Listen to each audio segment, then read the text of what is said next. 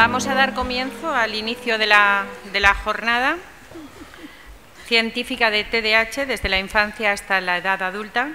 Vamos a dar paso a la mesa inaugural. Decano, cuando quiera. Hola, buenos días.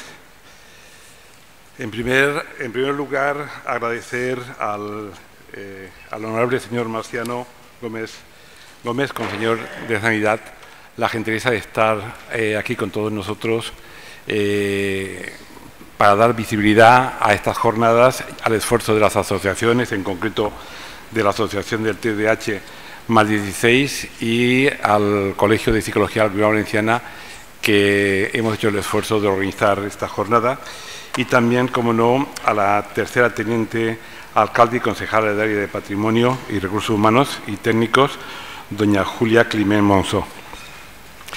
Tengo que agradecerle también al, señor conseller que ha tenido una puntualidad extrema y estaba aquí a las 9 de la mañana, lo digo para que lo sepáis, y de agradecer que ha, hecho eh, un tiempo de espera para poder estar con todos nosotros. Para el Colegio de Psicología es una, realmente es un, un placer poder contar con todos vosotros en estas jornadas. A nivel de inscripción hay unas 200 personas inscritas a nivel presencial y más de 500 personas en streaming, lo cual es muy importante y viene a manifestar la importancia de este tema no solamente para los profesionales, sino también para los familiares y las propias personas que tienen TDAH. Eh, hay una, una mención a esta jornada que la hace especial, y es que yo recuerdo, quiero recordar que era Ortega y Gasset que decía que la, psicología es una ciencia que se practica como un arte. Como sabéis, Ortega y era un eminente eh, filósofo español. Y es verdad que esta jornada aúna o es una sinergia de esfuerzos por una parte de la Asociación de TDAH, más 16, del Colegio de Psicología de la Comunidad Valenciana, y aglutina una serie de profesionales y académicos de alto, de alto nivel. Pero, volviendo a la frase de Ortega Gasset, conlleva también la representación de, un acto, de, un desarrollo que creo que, sea sumamente interesante. Y dicho esto, dar nuevamente la bienvenida y cedo la palabra a doña Julia Climent Monzó. Sí, muchas gracias. Eh, muy buenos días a todos y a todas. Eh, estimado conseller de Sanidad, decano del Colegio Oficial de Psicología y presidente de la Fundación FIDAP, y presidenta de, la Asociación eh, de TDH más 16. Yo, en primer lugar, quisiera pues, trasladaros ¿no? el saludo de la alcaldesa de Valencia, que no ha podido estar aquí esta mañana, pero quería saludar a todas las personas participantes que nos acompañan. Y también su sincero agradecimiento a los organizadores, al decano, a la presidenta de la asociación, pues por haber contado con el Ayuntamiento de Valencia para la apertura de esta tercera jornada científica de TDAH titulada Desde la infancia hasta la edad adulta. Así como también agradeceros el que hayáis elegido nuestra ciudad, la ciudad de Valencia, para la celebración de este evento en estas instalaciones municipales, en el complejo de la Pechina, en la que esperamos que os sintáis pues, como en vuestra casa. En representación del equipo municipal también me acompaña eh, mi compañero Javier Copoví, que es el director general de discapacidad del Ayuntamiento de Valencia y que, como buen conocedor de esta materia, pues bueno, me ha facilitado unos datos que me parecen muy claros y que ponen de manifiesto pues, el alcance y las repercusiones del TDAH. Tan claros como que eh, dicen que es la problemática del neurodesarrollo más frecuente de la infancia y, de hecho, solo en la ciudad de Valencia, entre el 3,5 y el 8% de los niños y niñas se ven afectados por este trastorno y que más del 60% de los casos se prolonga en la edad adulta. Y, sin embargo, claro, esto lógicamente explica eh, y me hace entender ¿no? el, título de, las jornadas que habéis elegido. Pues bien, son datos tan claros como que en la comunidad valenciana se calcula que la incidencia o prevalencia del TDAH es del 6,4% en los niños y al menos un 3% en los adultos, es decir, que cerca de 32.000 niños y unos 135.000 adultos valencianos padecen TDAH.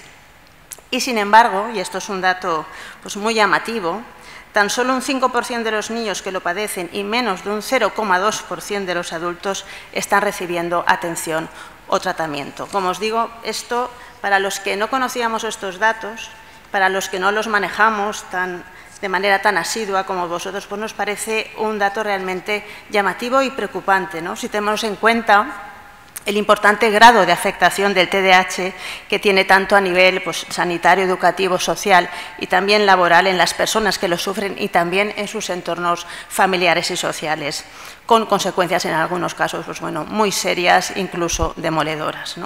Por ello, somos conscientes de la importancia que tiene la coordinación entre las distintas entidades y las distintas instituciones y la aportación de los recursos necesarios para poder seguir avanzando en esa detección precoz y en esa atención temprana de este trastorno infantil que sin los apoyos necesarios a lo largo de su desarrollo evolutivo, pues sin duda tiene graves competencias.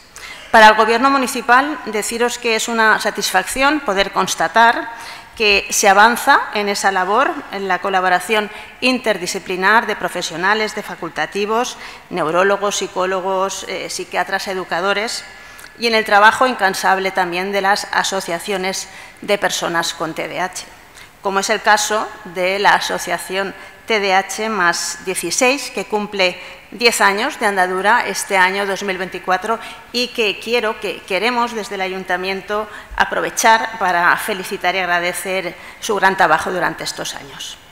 Sin duda, el impacto del TDAH en todos los ámbitos de la vida, en la familiar, en la académica, en la social, en la laboral y pues bueno, justifica plenamente, sin ninguna duda, la necesidad de conseguir difundir esos conocimientos sobre el TDAH y su tratamiento para que todos los implicados, las personas, las instituciones, asumamos un reto importante que es reducir al mínimo sus consecuencias negativas.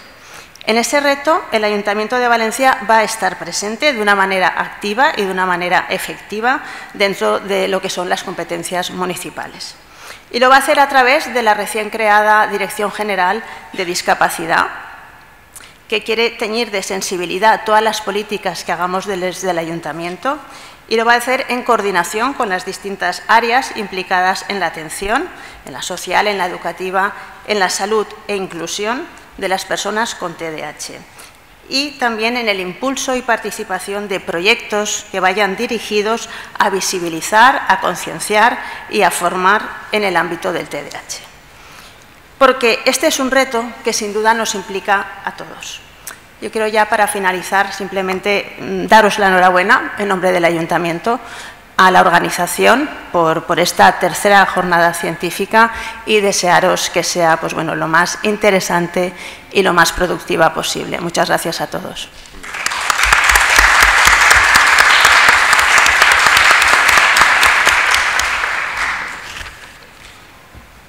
Sí, por favor. Hola, muy buenos días a todos. Quiero agradecer la amable invitación que han realizado tanto el decano del colegio, Francisco Santolaya, como la presidenta de la asociación TDH más 16, eh, María Elena Podio García. Me han preparado unos folios, pero ante estos actos tan emotivos, ante estos actos tan emocionales, tan sensibles, prefiero hablar desde el corazón y no leyendo. Prefiero expresaros lo que siento. Y prefiero expresaros lo que siento como médico, y como consejero. Y lo que siento es que ante este tipo de patologías como la TDAH, que la prevalencia, como ha dicho eh, la concejala Julia, está sobre 6,6, uno de cada 15 niños, adolescentes o eh, niños o adolescentes, que estoy convencido que pueden ser algunos más ya que hay un déficit de diagnóstico, un déficit de diagnóstico donde nos tenemos que enfrentar la sanidad, la psicología, los neuropediatras, los papás, los colegios, los logopedas, en intentar detectar de una forma rápida y temprana una patología como la TDAH, una patología donde lo importante es una detección rápida. Y una detección rápida para llegar a un tratamiento. Y no un tratamiento sin más, sino un tratamiento multidisciplinar donde tienen que actuar múltiples elementos, múltiples actores. No solamente la terapia farmacológica, sino el apoyo de los neuropediatras, y veo al doctor Mulas que le agradezco también estar aquí, los psicólogos, los educadores, los colegios. Es imprescindible, pero es que debemos desestigmatizar este tipo de enfermedades. Debemos desestigmatizar cualquier tipo de enfermedad de trastorno de salud mental. Debemos colaborar en la integración y tenemos una obligación como sociedad, todos, los responsables eh, sanitarios y los responsables públicos más, pero todos, porque esto es un problema de todos, de intentar subsanar este problema. Y lo mejor para, para intentar subsanarlo es aflorarlo con total y absoluta normalidad. Es un compromiso del Consejo presidido por el presidente Mazón el hecho de abordar sin ningún tipo de cortapisa, con claridad, con transparencia, con presupuesto, uno de los mayores problemas que en este momento tiene la sanidad pública española, que junto con la atención primaria la falta de sanitarios es la salud mental. Y para eso nos hemos propuesto el hecho de, sin ningún tipo de estigma, con total transparencia, con total colaboración por parte de todos los actores, poner en marcha un plan de salud mental ambicioso, un plan de salud mental real, un plan de salud mental donde se han presupuestado 724 millones de euros. Un plan de salud mental donde hay un incremento con respecto a lo presupuestado anteriormente de 284 millones. Un plan de salud mental hecho al principio de una legislatura, con voluntad de ejecutarlo. No hecho como un anuncio, no hecho a mitad de una legislatura, sino al principio. Y un plan de salud mental integrador. Integrador desde el punto de vista de las distintas consellerías que forman parte activa, real y ejecutiva de lo que es la detección y tratamiento de estos problemas. Y me estoy refiriendo a la Consellería de Educación y a la Vicepresidencia Segunda y Consellería de Bienestar Social. El interés es tal que en el organigrama de la Consellería que tengo el honor de presidir se ha creado una oficina de salud mental y adicciones. El interés es tal que ya hay una comisión interdepartamental de salud mental formada por las tres consellerías anteriormente citadas y que antes de la presentación del plan de salud mental como tal, ya hemos tenido varias reuniones para empezar el abordaje de estas patologías. El interés es tal porque estamos, lamentablemente, en los vagones de cabeza en patología ansioso-depresiva, en adicciones, bien por cannabis, bien por alcohol, bien por impulso en Internet, los móviles, y lamentablemente estamos en los vagones de cola, en recursos tanto de personal como en recursos de infraestructuras. Nos hemos propuesto hacer una política de salud mental integral, equitativa y poniendo el foco en la prevención. Si en la salud es importante la prevención, en la salud mental es doblemente importante. Y para eso, desde las edades tempranas en, en el inicio escolar, ya en el examen de salud escolar vamos a poner dos o tres preguntas que, puedan ya desenmarañar, vislumbrar lo que puede ser la patología en salud mental por parte de algunos de los niños. Vamos a poner psicólogos en los colegios. Uno, un hospital de día infanto-juvenil en cada departamento de salud, 23. Vamos a aumentar el doble la dotación en camas hospitalarias infanto-juveniles. Es importantísimo. Hay que abordar el problema desde el inicio. Vamos, por supuesto, a aumentar en la medida de lo posible la contratación de personal. Y digo en la medida de lo posible porque lo que no queremos es decir números que no se pueden cumplir, porque saben ustedes que la formación vía MIR está muy, muy disminuida en la formación de especialistas y vamos a, contratar a los psiquiatras, eh, a los psicólogos clínicos necesarios para este abordaje.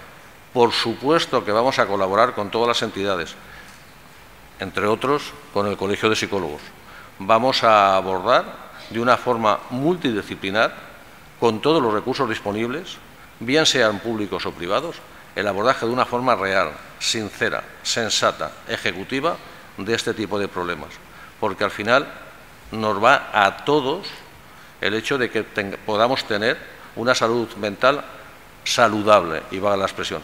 Y tenemos la obligación entre todos de detectar el problema en su inicio. Hay que ser proactivo, hay que detectar el problema antes de que el paciente enferme y así conseguiremos tener un mejor sistema sanitario y, lo más importante, unos mejores indicadores de salud. Acabo con mi presencia aquí.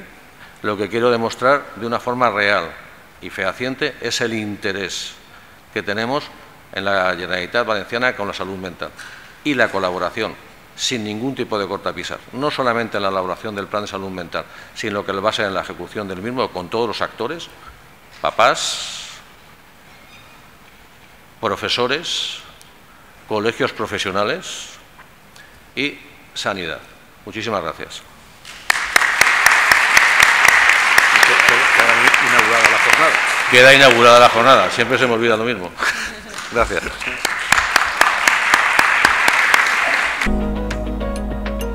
Continuando con el programa, vamos a dar paso a la exposición por parte de la Asociación TDH Vallés del proyecto realizado junto a la Federación Mundial de Profesionales de, TDH.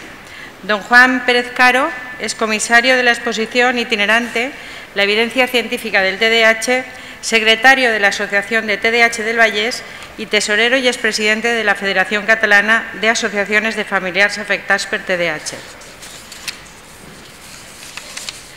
Don Juan Pérez Cado es técnico en delineación y edificios y obras, coordinación de equipos de desarrollo y producción en el entorno de aplicaciones informáticas para redes y saneamiento, responsable del mantenimiento de información digital, coordinación en representación de relaciones laborales, proyectos de energía, responsable de divulgación y difusión del TDH y representación institucional.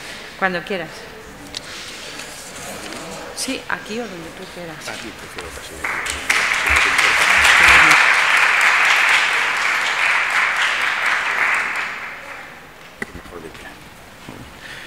Hola, eh, buenos días a todos, muchísimas gracias por estar aquí. Eh, ante todo, queremos agradecer a la Asociación TDH más 16 eh, y al Colegio de, Psicólogos de Valencia por, invitarnos a esta jornada y por invitarnos a, traer y a mostraros lo que desde la Asociación TDH Valles y la Federación Catalana hemos organizado, que es la exposición sobre la evidencia científica del TDH. En especial eh, agradecer a Marilena Podio el detalle que ha tenido para, que estemos hoy aquí. Em, yo quisiera empezar hablando un poco sobre un personaje em, que en los años 60 tuvo gran relevancia, aunque no se le dio la importancia que, que tuvo en aquel momento. Se trata de un eh, prestigioso psiquiatra alemán que trabajó intensamente por eh, eliminar el término que existía hasta ese momento que, que englobaba el TDAH, que era el término de disfunción cerebral mínima, porque eh, tenía otras connotaciones y provocaba cierto estigma eh, entre los afectados y sobre todo culpabilizaba a las madres del trastorno que tenían sus hijos. Este psiquiatra alemán eh, como os digo, trabajó intensamente en este tema junto con otro compañero, que era Mike Rutter, y trabajó también sobre eh, el, conocimiento y el convencimiento de la base genética que tiene. Eh, vale, como os decía, este psiquiatra alemán estuvo investigando también sobre la medicación estimulante y la estuvo probando incluso con sus propios hijos y con otros pacientes que tenía en consulta, llegando a la conclusión de que, pues contrariamente a lo que parecía, esa medicación estimulante pues calmaba en cierta manera a, estos, a estos chavales. Eh, tenía un conocimiento somero de, sobre la, la base genética del trastorno, trabajó mucho con esta medicación y trabajó intensamente para que se cambiara ese término de disfunción cerebral mínima. Finalmente, al cabo de los años, se pudo cambiar ese término en el DSM y pasados ciertos años, em, este psiquiatra se vio envuelto en una polémica em, después de su muerte. No sé si, supongo que muchos de los que están aquí recordarán un famoso titular que decía que el inventor del TDAH en su lecho de muerte había reconocido que era un trastorno fabricado. Vale, pues investigando sobre eso eh, se llega a la conclusión de que esa afirmación fue tergiversada intencionadamente por los negacionistas del trastorno y bueno, pues como os digo, se creó bastante polémica al respecto, generando muchas dudas en las familias y en los, y en los afectados. ¿Y qué quiero, a dónde quiero llegar con esto? Pues a que somos principalmente propensos a quedarnos con los grandes titulares sin entrar a, investigar nada más que eso. Y entonces, eh, desde la Federación Catalana eh, tuvimos la idea de hacer algo al respecto. Teníamos una, y tenemos una muy buena relación con la Federación Mundial de TDAH, presidida por el doctor Stephen Faraone, y solicitamos, eh, primero solicitamos el, permiso para poder traducir eh, el documento de consenso internacional que existe sobre el TDAH, para poder traducirlo a, catalán.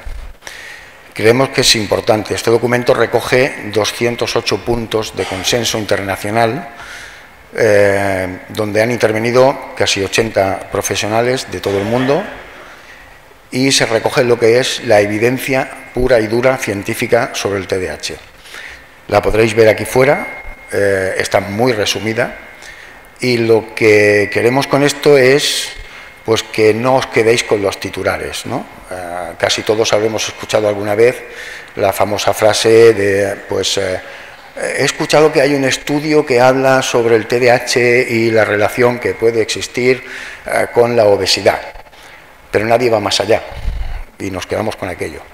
Bueno, pues lo que queremos mostrar con esta exposición es eh, que esto existe, que es real, que hay base científica sobre ello, sobre la conexión o la relación que puede tener el TDAH con otros trastornos mentales y no mentales, eh, la relación que existe evidentemente entre la familia y los afectados. Y, agradecer también, eh, aunque yo, yo me, noto dentro porque estoy dentro, a TDH Vallés, porque desde la federación eh, tuvimos la idea, pero no teníamos los medios, ni, ni económicos ni, ni, personales. Y TDH Vallés se ofreció a financiar esta, esta exposición, cuyo objetivo es, eh, el objetivo que nos marcamos, en principio, era hacer una exposición itinerante por toda Cataluña, donde interviniesen las asociaciones de, Cataluña, hospitales, colegios, centros de salud. Y bueno, pues hoy estamos aquí en Valencia, que era un objetivo que no nos habíamos planteado, pero que creemos que también es muy, muy importante. La exposición está, está escrita en, catalán, no creo que aquí en Valencia haya mucho problema. Y, nada más, seguro que me he dejado algo en el tintero, pero espero que, podáis eh, consultarla y ahí en uno de los roll-ups eh, aparece un QR de la Federación Mundial y si estáis interesados podéis descargaros el, documento, creo que está traducido a 11 idiomas, eh, entre ellos el catalán, y os lo podéis descargar y tendréis toda la información que tenéis en estos paneles, la tendréis mucho más eh, extendida. Y quisiera hacer una mención al doctor Martínez Raga, porque leyendo el documento de consenso internacional he visto que el doctor Stephen Faraone y otros profesionales pues eh, han, investigado sobre su trabajo porque aparece como referencia. Entonces, pues quisiera darle un agradecimiento también especial por todo su trabajo. Y nada más, muchísimas gracias por, estar aquí y espero que, podéis, que podáis consultar la exposición y disfrutarla y sacar, sacar suco, como decimos en Cataluña, de ello. ¿Vale? Muchísimas gracias. Hola, sí. Pues nada, que eh, personalmente y desde la asociación solo tenemos agradecimiento para estas personas que van a, colaborar con nosotros hoy en esta mesa. Contamos con el doctor Fernando Mulas. Él es, eh, espérate que lo tengo apuntado, pero aunque me lo sé, claro. Es neuropediatra, eh, fue premio Ramón y Cajal en el 2013, es director de Invanet, preside la la Sociedad Española de Neuropediatría la Valenciana, de la Comunidad Valenciana, fue 20 años neuropediatra de la FE, con lo cual tiene una carrera muy importante. Y empezará él, porque al ser neuropediatra eh, tratará más el tema infantil. Luego contamos con Lorena Amado Payarés, es psicóloga general con habilidad sanitaria y profesora colaboradora en la Universidad CEU de Cardenal Herrera. Ella está especializada más en la parte adolescente es una gran colaboradora de la asociación porque lo que más tenemos de socios y siempre hemos contado con ella para todo. Luego tendremos al doctor Martínez Raga, que es eh, especialista en TDAH adulto es jefe de psiquiatría del Hospital Dr. Peset, profesor de la Universidad de Valencia y directivo de la Sociedad Española de Patología Dual gran colaborador también nuestro, porque claro, tenemos que siempre buscar lo mejorcito y, y, que especialista en adultos es complicado, ¿no? Entonces, pues contamos con él siempre desde el primer momento. Y luego hoy tenemos una colaboración muy especial que vienen desde Barcelona, desde Sabadell, desde la asociación TDH Vallés, que son una asociación muy amiga nuestra, y contamos con su psicóloga, que es María del Carmen Echevarría Estrella, es psicóloga con habilidad sanitaria, neuropsicóloga y psicopedagoga, especializada en TDAH, en TEAF y directora de la unidad de diagnóstico de la Asociación TDAH Vallés.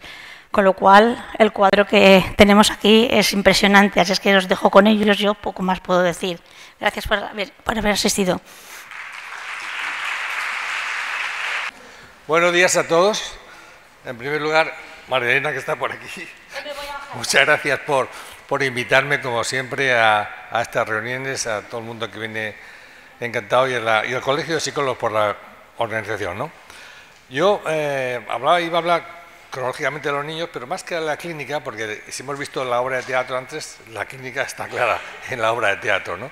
Iba a hablar un poco de las evidencias, porque claro, eh, nos encontramos que a veces decimos que tiene el diagnóstico de TDAH, pero para convencer, entre comillas, a, las personas que tienen que tomar una medicación y que tienen que hacer una intervención con el gasto que supone con todo el esfuerzo que supone, pues hay que darle más consistencia, ¿no? Hay que es que hay que sí, hay que tratarlo porque no es un invento que tenemos los médicos, ¿no? Entonces, yo trataba en esta, en esta conferencia corta de ser explícito con esas experiencias, esas evidencias que yo en mi experiencia tengo, y que quiero transmitir a todos. A lo mejor es un poco técnico, pero mm, tiene que ser necesariamente así, porque son cosas que son un poco novedosas, pero que son de actualidad. ¿no? La clínica la sabemos todos, es el niño que viene consultando casa a los padres, al pediatra, al neuropsiquiatra, al psiquiatra, al neurólogo. ¿Qué queremos demostrar aquí? Queremos ya demostrar que efectivamente, aunque el diagnóstico es clínico, no hay ninguna prueba que en medicina se llama patogneumónica, o sea que es sí o sí, tienes una hiperglucemia, eres diabético, aquí no es así. La clínica es muy importante, pero no solo la clínica nos va a dar esas evidencias, porque a veces la clínica es muy subjetiva. Antes el que estaba haciendo el laboratorio preguntaba al DSM4 y depende a quién le preguntas y cómo le preguntas, te dice sí muchas veces pocas veces y queremos tener algo más de consistencia a la hora de explicar. ¿Qué evidencias tenemos? Pues tenemos evidencias hoy día genéticas, neuroanatómicas, neurobioquímicas, neurofisiológicas. Es un trastorno del neurodesarrollo de base biológica y además hay una evidencia clínica y neuropsicológica. Y creo que es importante fijarse en todo eso, aunque suponga un tiempo, eh, ver qué realidad hay de todo eso. ¿no? La primera realidad es la genética. ¿no? Yo, nosotros, tuve con Ana Miranda, que a veces está para que también, la oportunidad de trabajar en el proyecto IMAGE, que es un proyecto que hizo Faraón con un grupo de hospitales de, todo, de toda Europa, y era proyecto más, y con ello publicaron esta publicación en, Genetics, en, en Nature Genetics, que es la publicación más relevante que hay en medicina sobre genética, donde hablaban de la fuerte concordancia, eran 20.000 individuos diagnosticados de TDAH y 35.000 controles, o sea, que estaba claro que son puntos de referencia en todo el mundo, la fuente de concordancia para apoyar el diagnóstico de que el TDAH es una expresión extrema de los rangos hereditarios contiguos. Ahí lo dejo, es la primera evidencia. ¿no? Luego, a nivel neuroanatómico, hay evidencias de técnicas de resolución espacial, de resolución espacial temporal y de resolución temporal. El dónde, el cómo y el cuándo. Queremos saber realmente qué es lo que pasa en el cerebro de las personas, de los niños con TDAH y de las personas adultas con TDAH. A nivel de resolución espacial hay muchas publicaciones de neuroanatomía, en neuroimagen, neuroimagen funcional, todo habla de la diferencia funcional de la corteza prefrontal y de los ganglios estriados, basales estriados. Ya se divulgó mucho en todo el mundo, en la, prensa, de las personas con TDAH tienen un cerebro diferente, que lo sospechamos, pero ya hay evidencia, sobre todo a raíz de esta publicación tan importante en Lancet Psychiatry, que hablaba de que la diferencia del volumen cerebral cortical en personas con TDAH, ¿no? Y también eran 1.700 participantes con TDAH y 1.500 controles de distintos hospitales de todo el mundo, ¿no? Y hablaba de ese trastorno, el retraso, Barclay decía que era un retraso en la maduración del cerebro normal, pero que no maduraba al tiempo que tocaba, ¿no? Y también a nivel de, imagen, yo tuve la suerte de participar con el profesor Ortiz de, la Universidad Autónoma de Madrid haciendo estudios de magnetoencefalografía, son estudios que se hacen de la actividad eléctrica cerebral comparándola y superponiéndola a la actividad de resonancia cerebral de alta resolución. Y se ven imágenes en tiempo real. Aquí el niño estaba pasando los test psicológicos, el Wisconsin, el CPT, y a la vez que se veía cómo cambiaba la neuroimagen y además tenemos una representación topográfica de esos estudios neuropsicológicos, como tienen correspondencia a nivel neuroanatómico. ¿no? Este es el resumen, porque es una publicación en, en, Biology eh, que era una publicación muy importante, que hablaba que había una activación anormal del cíngulo en los niños controles, en los niños con déficit del cíngulo comparados con los controles, los TDAH. ¿no? A nivel de cómo del temporal son el estudio de, neurofisiología, tanto de los potenciales evocados P300, que hablaré un poquito más de ellos, como EEG y el NEVA, que también hablaré un poco también de ello. El potencial evocado, evocado eh, P300 es una prueba un potencial de larga o media latencia. Se ve como la respuesta en estos sujetos aparece a los 300 milisegundos. En los recién nacidos, por ejemplo, se sabe si oye o no oye haciendo un potencial evocado de corta latencia, de 100 o 150 milisegundos. Implica un procesamiento cognitivo y además se tiene que relacionar con el, estímulo infrecuente, tanto auditivo como visual. El típico es el auditivo pi, pi, pi, po, pi, po. El po es infrecuente y produce ese potencial evocado que tiene, como aquí vemos, una latencia de 300 milisegundos y una amplitud de 12 a 24 milivoltios. Hay muchas publicaciones, no, no es un invento, esto está hecho muchísimos años ya publicado por todas partes, sobre todo la P300. ¿no? Y esto es un estudio que hicimos a la en el año 99, la doctora Schmeyer. Veíamos como pretratamiento la latencia en vez de 300 estaba superior, 300, 400, y después de tratamiento se normalizaba. O sea que habíamos visto pacientes que eran respondedores y cómo evolucionaba esa respuesta neurofisiológica siempre se demostraba lo mismo, la latencia alargada y la amplitud disminuida, en todos los estudios. Es un estudio que hizo Patricia Roca en el IMANE, porque hizo la tesis doctoral con la profesora de Psicología, también la amplitud baja y la latencia alargada. Y aquí estudios con tratamiento y sin tratamiento, la doctora Idazal de Barcelona, como antes del tratamiento la, actividad basal eh, era una latencia alargada y luego disminuía con la medicación de metilfenidato. ¿no? También se ha relacionado la latencia con la velocidad de procesamiento, con la relevancia, con la categorización, la impulsividad, el control inhibidor y memoria de trabajo. O sea que estamos viendo ya esas correlaciones. Lo ideal sería encontrar un biomarcador que todavía no tenemos, ¿no? todavía en la clínica la que impera, pero estos son evidencias que tenemos para apoyarnos en el diagnóstico. ¿no? Veis que la atención se baja en el procesamiento y el P300 valora el procesamiento de un estímulo. La amplitud lo que valora es la calidad, la altura de la onda, el volumen total de respuesta eléctrica a ese estímulo infrecuente y la latencia es lo que tarda en procesar ese estímulo. ¿no? Entonces, hemos visto además que la noradrenalina está implicada en, el procesamiento, aumentando la amplitud, y la dopamina disminuye la latencia, lo cual nos vale muy bien para saber también qué tipo de fármaco podríamos elegir, que luego hablaré también de eso. ¿no? Otra parte importante son los estudios neurofisiológicos a nivel de la actividad eléctrica cerebral. El electro no es diagnóstico de TDAH, ni mucho menos. Sí que se ha visto que hay una mayor frecuencia de alteraciones eléctricas en las personas con TDAH, incluso epilepsia, y hay estudios de eléctricos que a veces en los niños aparecen sorprendentemente descargas de tipo epiléptico. En fin, hay que en todo caso descartar ausencias infantiles, son niños que van un poco despistados, incluso breves episodios de desconexión en pacientes con ausencias pueden ser referidos como TDAH. Nosotros tenemos estudios en VideoG del niño que viene a hacer un TDAH y al hacer el electro, al hacer la hiperventilación, producen descargas de docencias. ¿no? Otra cosa sorprendente, hace, hace el año 2013 la, FDA, un organismo internacional reconocido a nivel americano, permitía con un estudio del NEVA que llamamos, que llamamos lo que es, ver una correlación entre la actividad eléctrica cerebral y el TDAH. ¿no? Ellos hacían, se llamaban Neuropsychiatric Base Aid, es el NEVA, donde había un estudio de las ondas cerebrales y calculaba el cociente de dividir las ondas teta por las ondas betas que están representadas, ¿no? Y este ratio tenía un valor según la edad correspondiente, y si es más alto de lo normal, era concordante con el TDAH. Yo creo que eran demasiado categóricos, ¿no? Porque decían, porque cuando la clínica a la izquierda está, es positiva y el NEVA, High eh, TRBR está alto, era diagnóstico de confirmación del TDAH. Bueno, por lo menos sí que te da una idea, como es una prueba que se hace además de la actividad cerebral, que es también concordante con un trastorno del procesamiento atencional. Y el cociente teta beta también hay muchas publicaciones. La ratio aumentada mostró elevada en pacientes con TDAH infantil en reposo, de localización frontal, central y parietal. Nosotros eh, tenemos a un neurofisiólogo Ibanet, el doctor Ortiz, hicimos un estudio con 75 casos que se publicó en Revista de Medicina, se hizo un, un teta beta antes y después de seis meses de tratamiento a ver qué pasaba, a ver cómo estaban en situación basales y a ver qué pasaba después del tratamiento. Se compararon y el 85% del cociente de teta beta fue elevado respecto a los valores normales por su edad y también vimos que se reducía tras el tratamiento, o sea, se normalizaba el funcionamiento cerebral. Yo siempre hablo de lo que es un coche como está o no carburado. El coche por fuera se le ve bien, pero tú puedes hacer mediciones para ver cómo está de fino carburando ese, motor. ¿no? En este caso se confirmaba que el tita beta estaba elevado en los pacientes con TDAH. Si aquí os fijáis, en la columna de la izquierda, 6 años, en la consciente medio estaba en 8, entre 6 y 8, y lo que tenían estos chicos era la media de 11,3, con lo cual el 84% estaba elevado.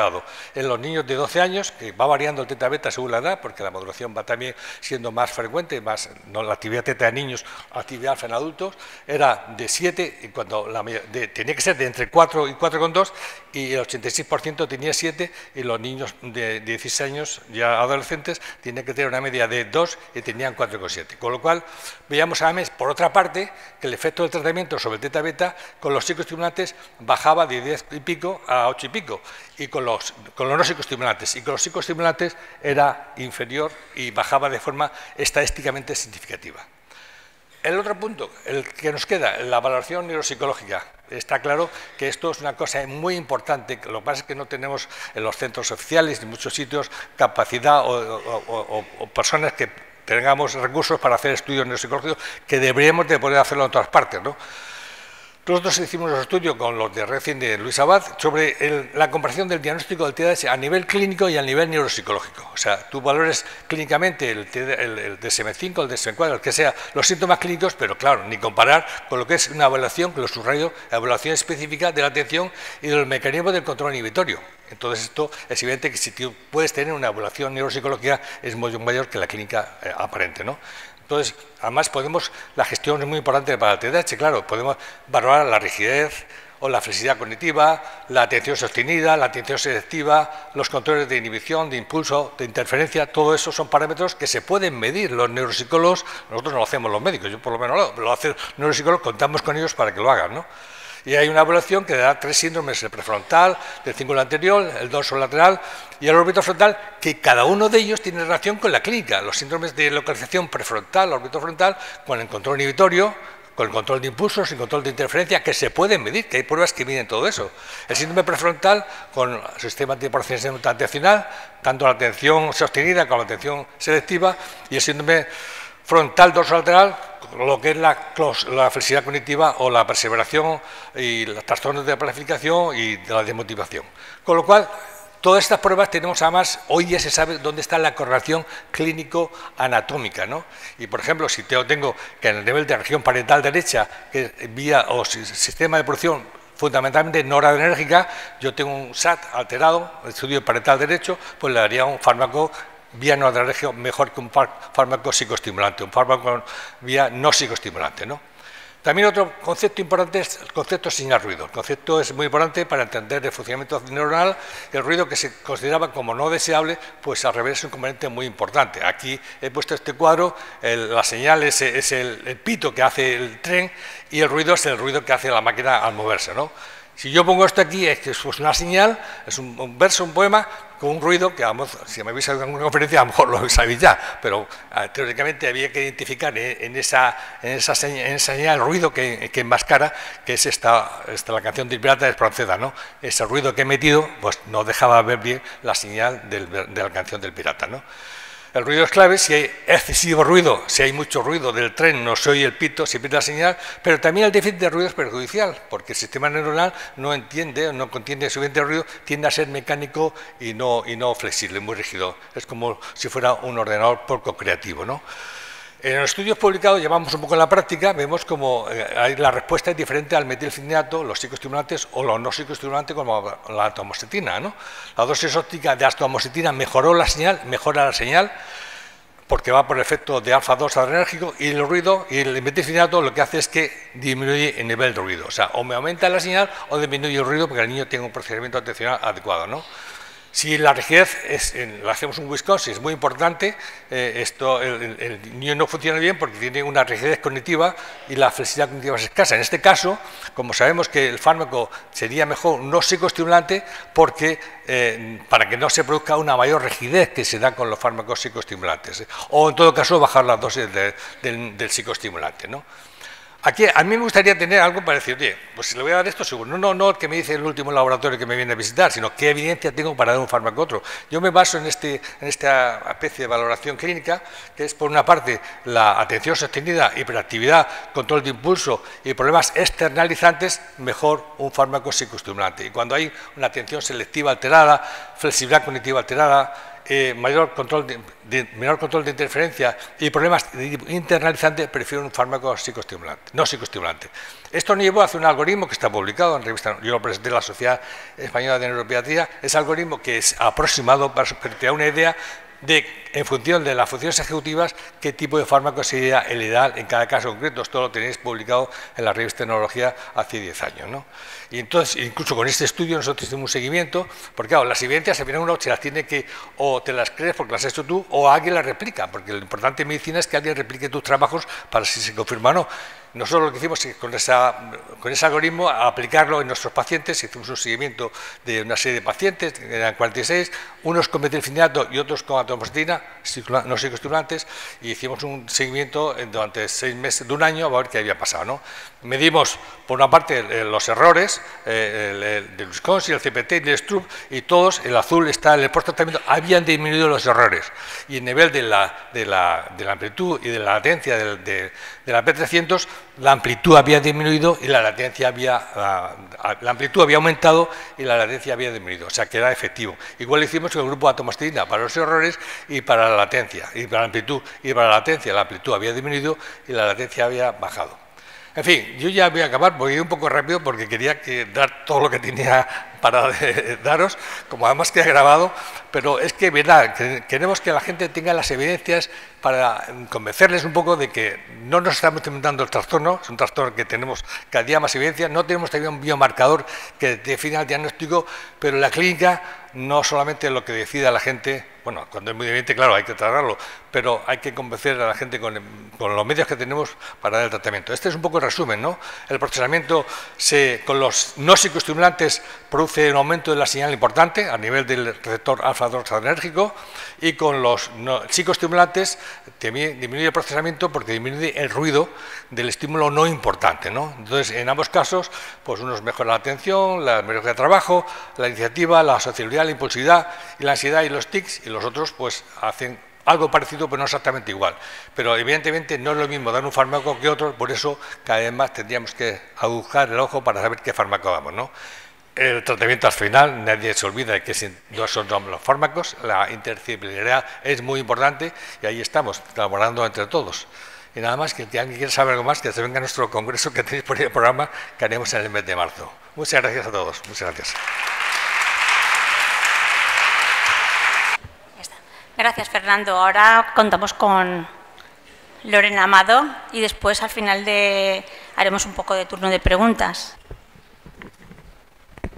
Hola, buenos días.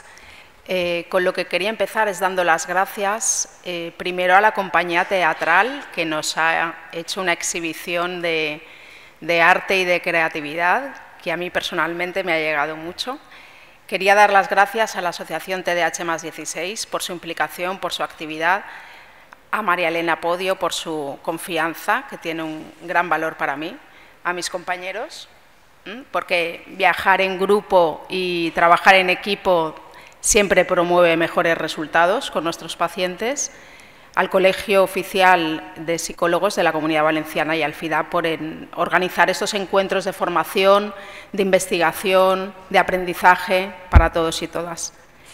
Y por último a mis pacientes, que me hacen un poco ponerme en reto, en jaque, muchas de las veces, y que además me impulsan para, la mejora de mi trabajo profesional y de mi práctica clínica.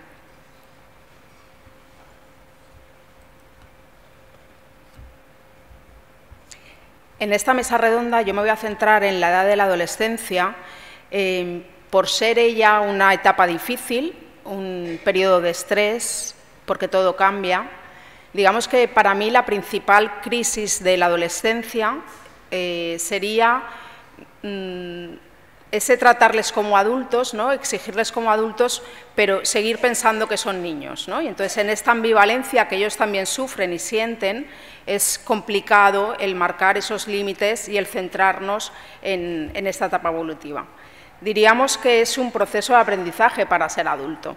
Y desde mi punto de vista y por mi experiencia, me parece que es muy interesante basarnos en su mirada, en cómo ellos entienden eh, su problema, cómo ellos viven el, trastorno, cómo em, tienen esa manera de vivirlo, de sentirlo y, y de hacerlo suyo, ¿no? porque es idiosincrático. Eh, podemos hablar de adolescencia, pero deberíamos hablar de adolescentes y cada persona es única e irrepetible y muchas de las circunstancias o características de las que yo voy a hablar hoy no se corresponden en todos ni en el mismo sentido ni en el mismo grado. Para ello voy a hablar de unas características comunes de la adolescencia, cuáles de ellos se pueden convertir en unos factores de riesgo, el impacto evolutivo que tiene el TDAH en la adolescencia, las implicaciones en el abordaje terapéutico y llegaré a unas breves conclusiones. Diríamos que la adolescencia es un periodo de cambio, como decía anteriormente, según la OMS, es una etapa evolutiva entre los 10 y 20 años. Yo discrepo con circunscribirlo a los 20 años. Supongo que si por una definición es cuando llegan a ser adultos responsables, quizás esos 20 años lo podríamos alargar muchos más. Las condiciones sociodemográficas y familiares nos hacen que esa edad sea un poco como prematura.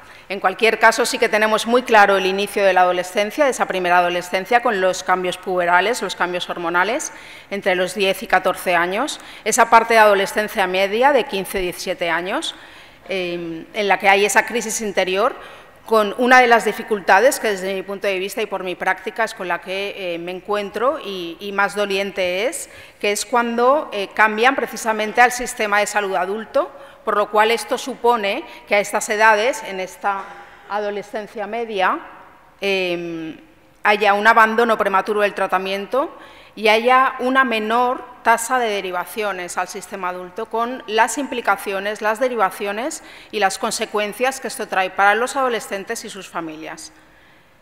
Y luego tendríamos la adolescencia tardía, que es un poco más cuando ellos se encuentran en el equilibrio, si fuera así, y un periodo un poco más de proyectos personales, de, centrarse en, ese tumulto de cambios. Diríamos que es el periodo de transición entre la niñez y la edad adulta y también ese proceso de búsqueda de su yo, de su identidad. Todos los cambios muchas veces son interpretados como época de crisis desde un punto de vista fatídico y negativo. A mí siempre me gusta destacar que el cambio es una oportunidad y desde esa perspectiva es desde la que yo trabajo.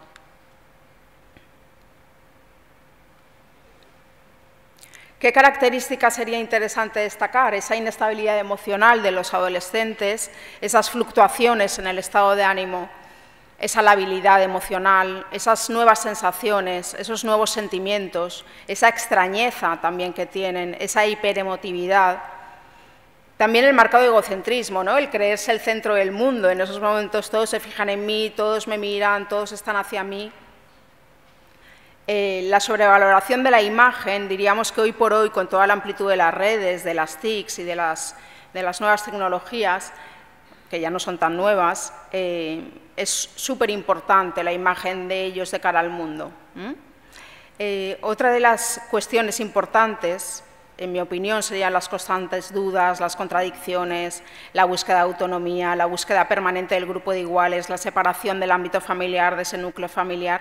Sin embargo, diríamos que este conflicto, esta separación, eh, les provoca incertidumbre, muchísimas contradicciones, muchísima ambivalencia, estar y no estar, quiero estar aquí y quiero irme allá. Cuando estoy en una de las partes echo de menos la anterior, tengo nostalgia por lo de antes, ¿no? lo de qué bonito era cuando era niño. ¿no? Esta frase la dicen muchos adolescentes, tenía muchos menos problemas y además me esperan muchos más cuando llegase adulto.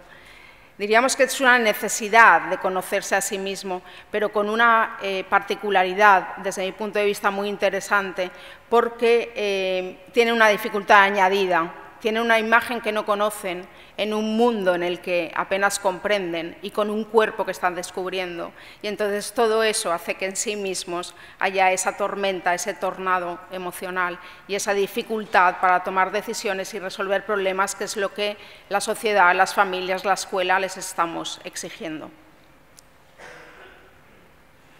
En cuanto a factores de riesgo, para mí sería muy importante destacar que no estamos hablando de causas-efectos, sino que de aquellas circunstancias que aumentan la probabilidad de que una persona realice una conducta de riesgo.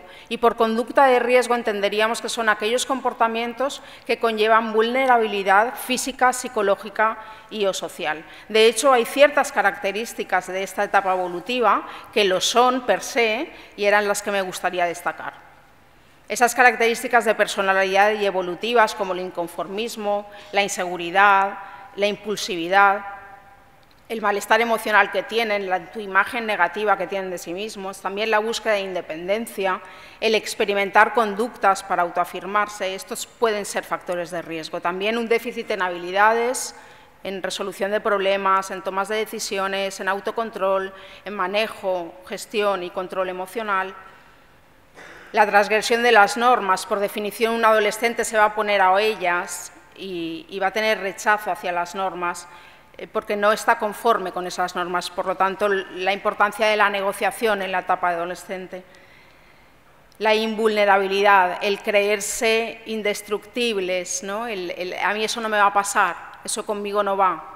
La fábula personal, la omnipotencia, ¿no? la, edad en la que cuentan con que a ellos cosas negativas no les van a suceder, independientemente que ya les estén sucediendo.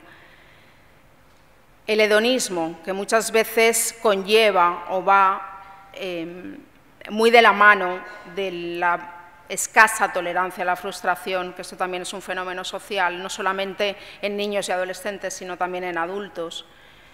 Y además de eso, la búsqueda de gratificación inmediata, es decir, esa búsqueda de placer inmediata. Y por otra parte, la presión de grupo. A mí también aquí me, gustaría destacar una mirada más positiva. ¿no? En realidad, ese grupo de iguales son referentes de identidad a nivel personal y a nivel social y, a mi juicio, en mi opinión, sería una función muy positiva y necesaria para su propio crecimiento personal. Creo que estamos muy empeñados en ver cómo la presión de grupo tiene efecto negativo en el adolescente. Sin embargo, es una función referencial y es una función de crecimiento. Otros factores de riesgo son los trastornos comórbidos, es decir, es poco frecuente encontrar el TDAH de manera aislada, siendo el trastorno negativista desafiante el más prevalente, ¿de acuerdo? O el más comórbido. Pero también los trastornos de conducta, los problemas delictivos a los cuales eh, pueden ser desarrollados por esos problemas de conducta, eh, destacaría por, las investigaciones actuales la violencia filioparental, la violencia en el noviazgo y el acoso. También las discapacidades lingüísticas y el aprendizaje, eh, los, problemas académicos, los problemas emocionales, esa la vida emocional lleva un desajuste que se puede ver bien claro en la ansiedad y en la distimia. He querido destacar la distimia porque es un proceso del estado depresivo más común en adolescentes que no es igual a la depresión adulta. El abuso de drogas. De hecho, el TDAH es un factor de riesgo en sí mismo del abuso de drogas. Entendemos o se entiende desde la investigación que precisamente se produce un inicio más precoz, hay una dependencia más rápida y además ambos trastornos hacen que la evolución del, trastorno del neurodesarrollo del TDAH se tenga una evolución peor. Y luego en algunos estudios hablan de trastornos de personalidad, el trastorno límite de personalidad específicamente, sobre todo en población femenina. En cuanto al impacto evolutivo del TDAH en los adolescentes, hablamos de un problema de salud pública, hablamos de una prevalencia de un 3,7 un 3, eh, perdón, entre el 3 y el 7% en población escolar, uno de los trastornos del niño y del adolescente más prevalente, un trastorno con curso crónico que requiere tratamiento a largo plazo. Sin embargo, no todos son correctamente identificados ni tratados con esas repercusiones personales, familiares y de salud pública que esto conlleva. ¿no? Es decir, em, ¿cómo podemos decir que es un problema de salud pública siendo uno de los trastornos más prevalentes y muy pocos afectados están correctamente diagnosticados, tienen la ayuda necesaria y tienen el apoyo y el soporte necesario que necesitan. Valga la redundancia, ¿no? Em, esto es una reflexión también. Otras características, esa impulsividad y esa inquietud que muchas veces es conceptualizada como algo negativo para los que convivimos con ellos, sin embargo, para mí es muy importante destacar que no hay una intencionalidad negativa. Ellos quisieran no ser tan impulsivos, quisieran no ser tan inquietos, ¿no? lo veíamos en Laila, pero lo son, lo son porque es una de las características de su trastorno. También podemos hablar de las pocas habilidades de organización. El presentismo adolescente aquí juega un papel primordial porque realmente ellos no son capaces de mirar a largo plazo, no son capaces de mirar al futuro por esa característica de su propia etapa evolutiva. Las dificultades de las relaciones con iguales, principalmente porque eh, tienen más rechazo con respecto a, sus compañeros, tienen menos amigos íntimos y luego, por otro lado, son, eh, tienen mayor probabilidad de sufrir acoso en la escuela o por el grupo de iguales. Para mí destacar que el componente socioemocional es el, aspecto más debilitante.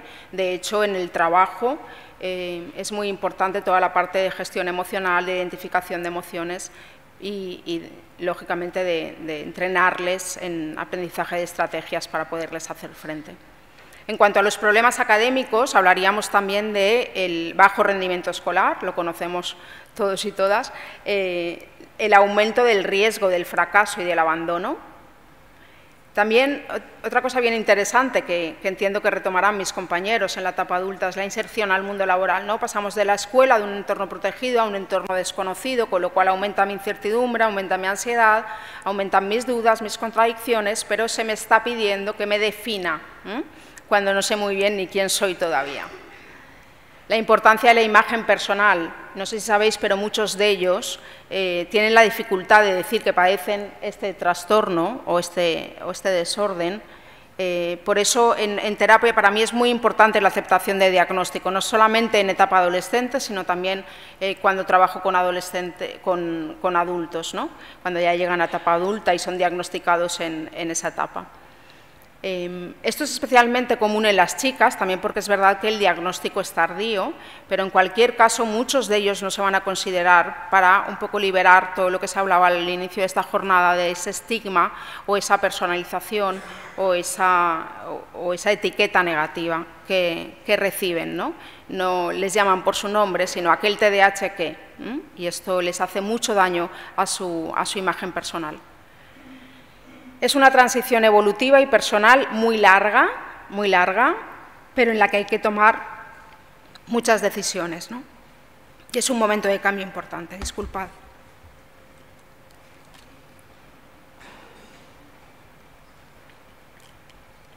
Y en cuanto a las conductas de riesgo, me gustaría destacar las lesiones, los accidentes, su comportamiento sexual, el abuso de sustancias, el THC casi siempre la más común de las drogas ilegales, y las dependencias tecnológicas, sobre todo a las pantallas. ¿no? Es decir, dentro de adicciones comportamentales, en ellos destaca las tecnológicas.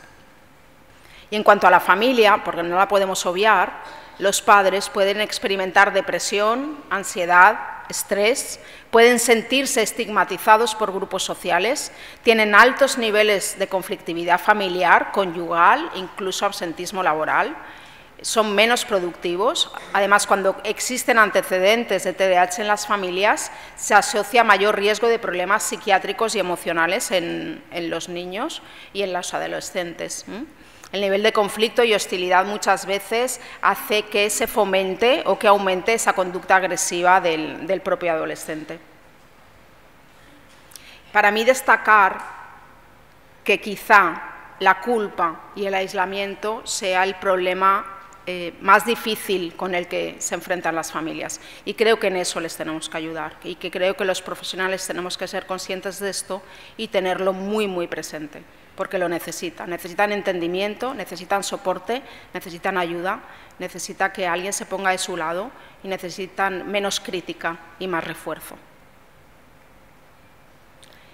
En cuanto al abordaje terapéutico, em, como en, otros, en otras, otras, otras etapas evolutivas, hablaríamos de un tratamiento multimodal, multimodal perdonad, en el que el objetivo, principalmente, al ser un trastorno del neurodesarrollo de curso crónico, estamos hablando de una mejora en la calidad de vida.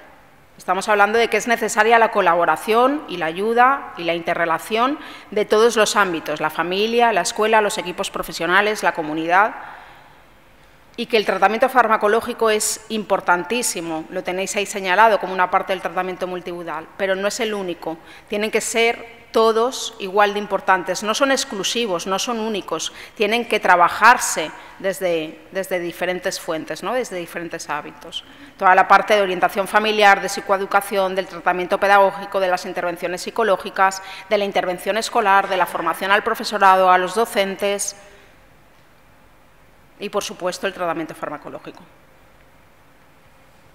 En la intervención psicológica, precisamente, habría dos, líneas muy identificadas en el que el tratamiento del grupo, el objetivo principal es la mejora de las interacciones a nivel social y a nivel familiar, y en el tratamiento individual, eh, la mejora y la, y la, adquisición de habilidades y el entrenamiento en habilidades de afrontamiento, en el control de impulsos, en la autoeficacia, en la resolución de problemas, en los sistemas de autorrefuerzo y valoración personal, en la organización y planificación del tiempo, en la estructura de su día a día, en la gestión, expresión y en control de emociones.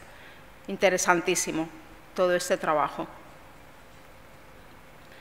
Y para concluir, me gustaría decir que esta etapa es de gran vulnerabilidad física, psicológica y social, pero es la línea de la vida.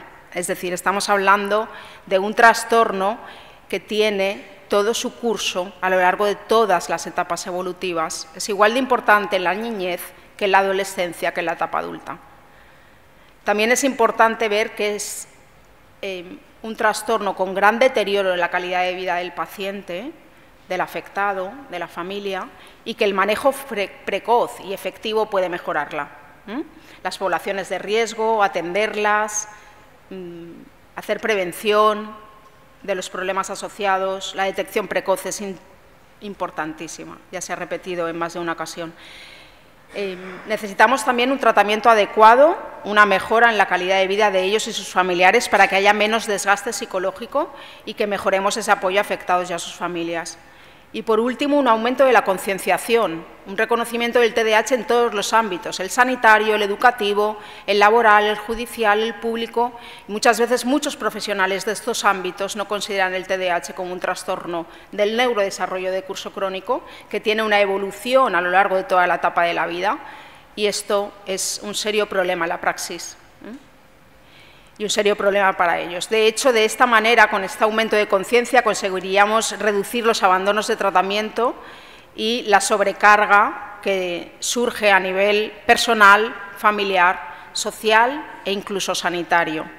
Desde mi punto de vista, un apoyo adecuado, una intervención adecuada, un hablar su mismo lenguaje, un ayudar a las familias, nos podría llevar a conseguir unas vidas plenas, satisfactorias y felices. Gracias.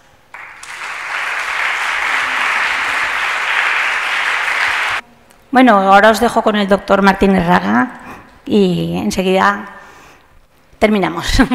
Em, sí. Buenos días o buenas tardes ya. La verdad es que es un, es un honor poder estar aquí. Eh, quiero agradecerle a Elena Podio, a la, a la asociación TDH más 16, eh, todo el trabajo que lleva detrás, a las asociaciones para el TDAH, eh, que me gustaría que estuvieran más unidas y, lucharan todas en la misma dirección, eh, porque el poder y, la importancia que tenéis es, tremenda. Y agradecer al Colegio de Psicólogos, eh, agradecer también al Ayuntamiento el, que haya proporcionado, pero bueno, lo he dicho, es, para mí es un honor y además compartir esta mesa con, con mis compañeros de tantísimo nivel. Em, bueno, he querido llamarlo la, singularidad. Em, es un concepto que, es una palabra que utilizamos poco y, que yo creo que me, gusta y voy a empezar a utilizar muchísimo a partir de ahora, porque el TDAH, las personas no son raras, la individualidad es un concepto que, utilizamos excesivamente y creo que las personas somos singulares y eso es lo que hay que intentar potenciar, esa parte singular que tenemos cada uno.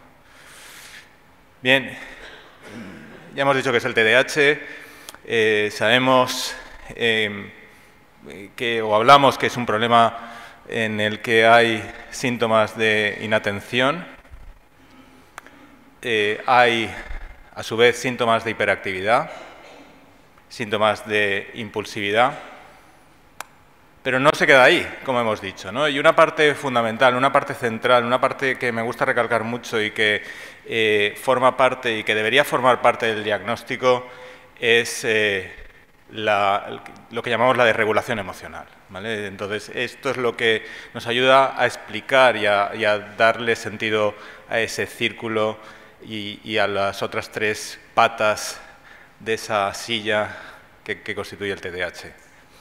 Eh, y que explica los problemas de autoestima, los problemas de depresión. Como ha explicado el doctor Muller, ha explicado Lorena también, el TDAH es un, trastorno complejo, es la patología psiquiátrica en la que sabemos más sobre su neurobiología, sobre sus bases biológicas, es un trastorno en el que hay una importante carga genética que explica gran parte del trastorno. Como hemos visto en la obra de teatro, la madre la podríamos diagnosticar también del TDAH, lo que yo llamo de forma eh, bueno, más o menos coloquial, la, genética inversa, cuando eh, el padre se ve reflejado en el hijo y nos pide consulta.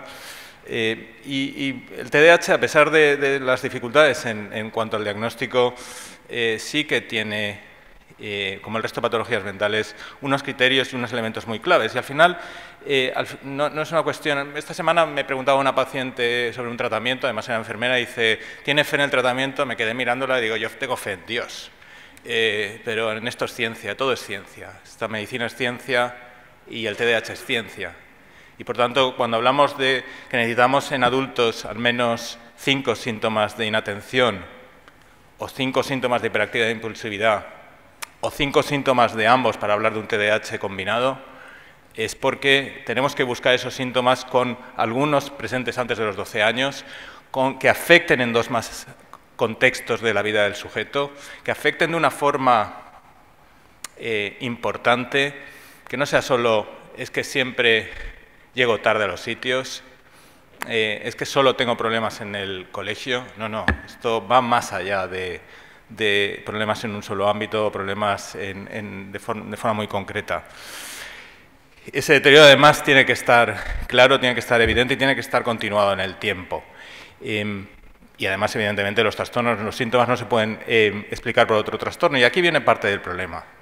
Bueno, es un trastorno complejo. Sabemos que la prevalencia de niños y adolescentes está entre el 3,4 y el 7,2%.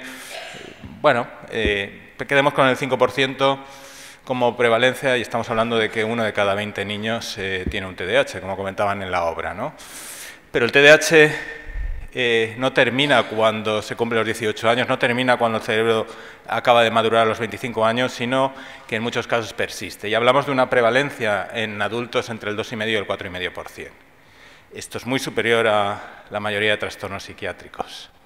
Eh, y sin embargo, eh, está ampliamente infradiagnosticado. Se ha comentado claramente que estamos por debajo del 0,3% eh, de diagnósticos en adultos. Eso quiere decir que solo uno de cada 250 adultos, como mucho, uno de cada 250 que, deberían, que tienen un TDAH están siendo diagnosticados y tratados. Por lo tanto, el que me hable de sobrediagnóstico, en fin, que se lo haga mirar. El TDAH, además, en esa evolución eh, es muy particular y eso quizá también dificulta ese diagnóstico. Mientras que los síntomas de inatención se mantienen a lo largo del tiempo, los síntomas de hiperactividad e impulsividad van mejorando conforme el cerebro va madurando. ¿Esto qué, implica? Bueno, en los niños pueden haber muchos problemas de conducta, muchos problemas de hiperactividad, em, y estos se van corrigiendo con el tiempo. Eh, el problema son los que son inatentos desde pequeños, que pasan más desapercibidos, son así, eh, es que no hace más porque no quiere, y eso hace que al final acaben siendo no diagnosticados. Pero además, insisto, viene un problema adicional, que es el de la comorbilidad, los problemas psiquiátricos asociados. Bueno, en la obra de teatro se ha, visto claramente eh, cómo son esos síntomas, es decir, hay errores por descuido, les resulta difícil terminar las tareas, son olvidadizos, les dificulta la constancia y como comentábamos hace un momento, pues son muy cabezones. Pero ese ser cabezota se, llama tenacidad y esa tenacidad muchas veces suple la inconstancia, con lo cual la botella siempre puede tener medio llena. Lo que hay que intentar es ver esa credibilidad que tenía Laila o esos aspectos positivos que, tiene Laila para reforzarlos y hacer contrarrestar eh, esos problemas que conlleva el TDAH y a su vez modificar el cerebro. Con todo lo que hacemos, con toda la psicoterapia, con todos los esfuerzos que hacemos, estamos modificando el cerebro y estamos corrigiendo el cerebro como luego también hace la medicación.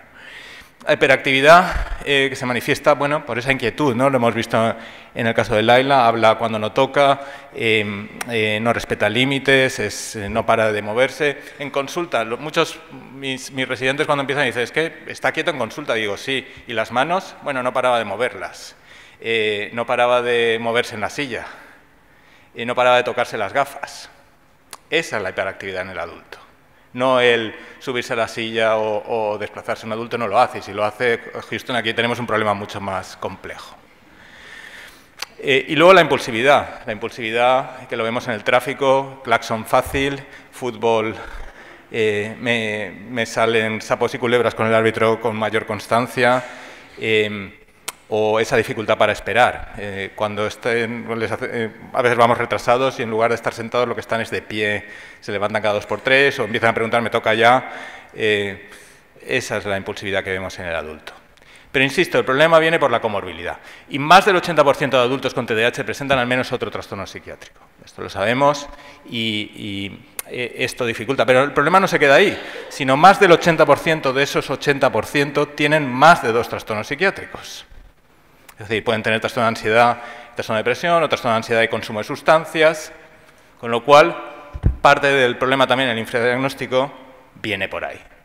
De hecho, en los niños es frecuente que el TDAH, que tiene más visibilidad, sí que se detecte y pase más desapercibida esa comorbilidad psiquiátrica, también porque se manifiesta de una forma muy diferente que en el adulto. ¿En el adulto qué ocurre? Justo lo contrario. Diagnosticamos la ansiedad, o mis compañeros diagnosticamos la depresión, y no vemos el TDAH. No lo vemos. Y el problema es que el TDAH es el elemento central al cual pivota todo. Entonces, si no tratamos el elemento central, no mejora el paciente. Y ahí viene gran parte del problema y de esas consecuencias en el TDAH no adulto. Problemas maritales, eh, depresiones, accidentes.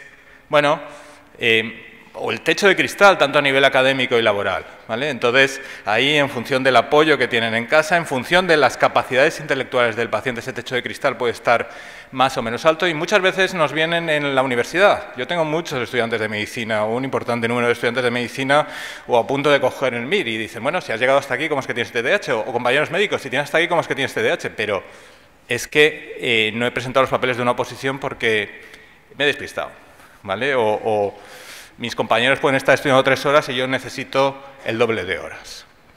Entonces es cuando las exigencias aumentan cuando se manifiesta ese TDAH, independientemente del nivel académico en el que estemos. Y lo mismo a nivel laboral. Es mucho más frecuente el no pasar el periodo de prueba, los despidos o cambios de, de trabajo. A nivel interpersonal y a nivel legal, se habla de hasta una prevalencia cercana al 40% en cárceles. Hemos hablado del eh, 2,5-5% en adultos, estamos hablando aquí de 10 veces más en muchos casos en cárceles. Bueno, de modo resumido lo vienen aquí, es decir, en verde tienen los neurotípicos, los controles, en naranja el TDAH, vemos embarazos adolescentes, enfermedad de transmisión sexual, abuso de sustancias, que ahora hablaré un poco más, las detenciones, es decir, las encarcelaciones, problemas de juego, problemas de pantalla en niños, problemas de juego en adultos. No solo problemas de adicciones a sustancias, los accidentes, también mencionaré en un momento, conducción temeraria. A nivel interpersonal, esa pérdida de control, esa agresividad, como comentaba Lorena, los problemas de violencia doméstica o problemas de, bueno, mayores problemas a nivel de pareja en general, ¿no? Y mayores tasas de divorcio. Eh, casi es eh, sindrómico el, que se ha divorciado cuatro o cinco veces, ¿no? casi es diagnóstico.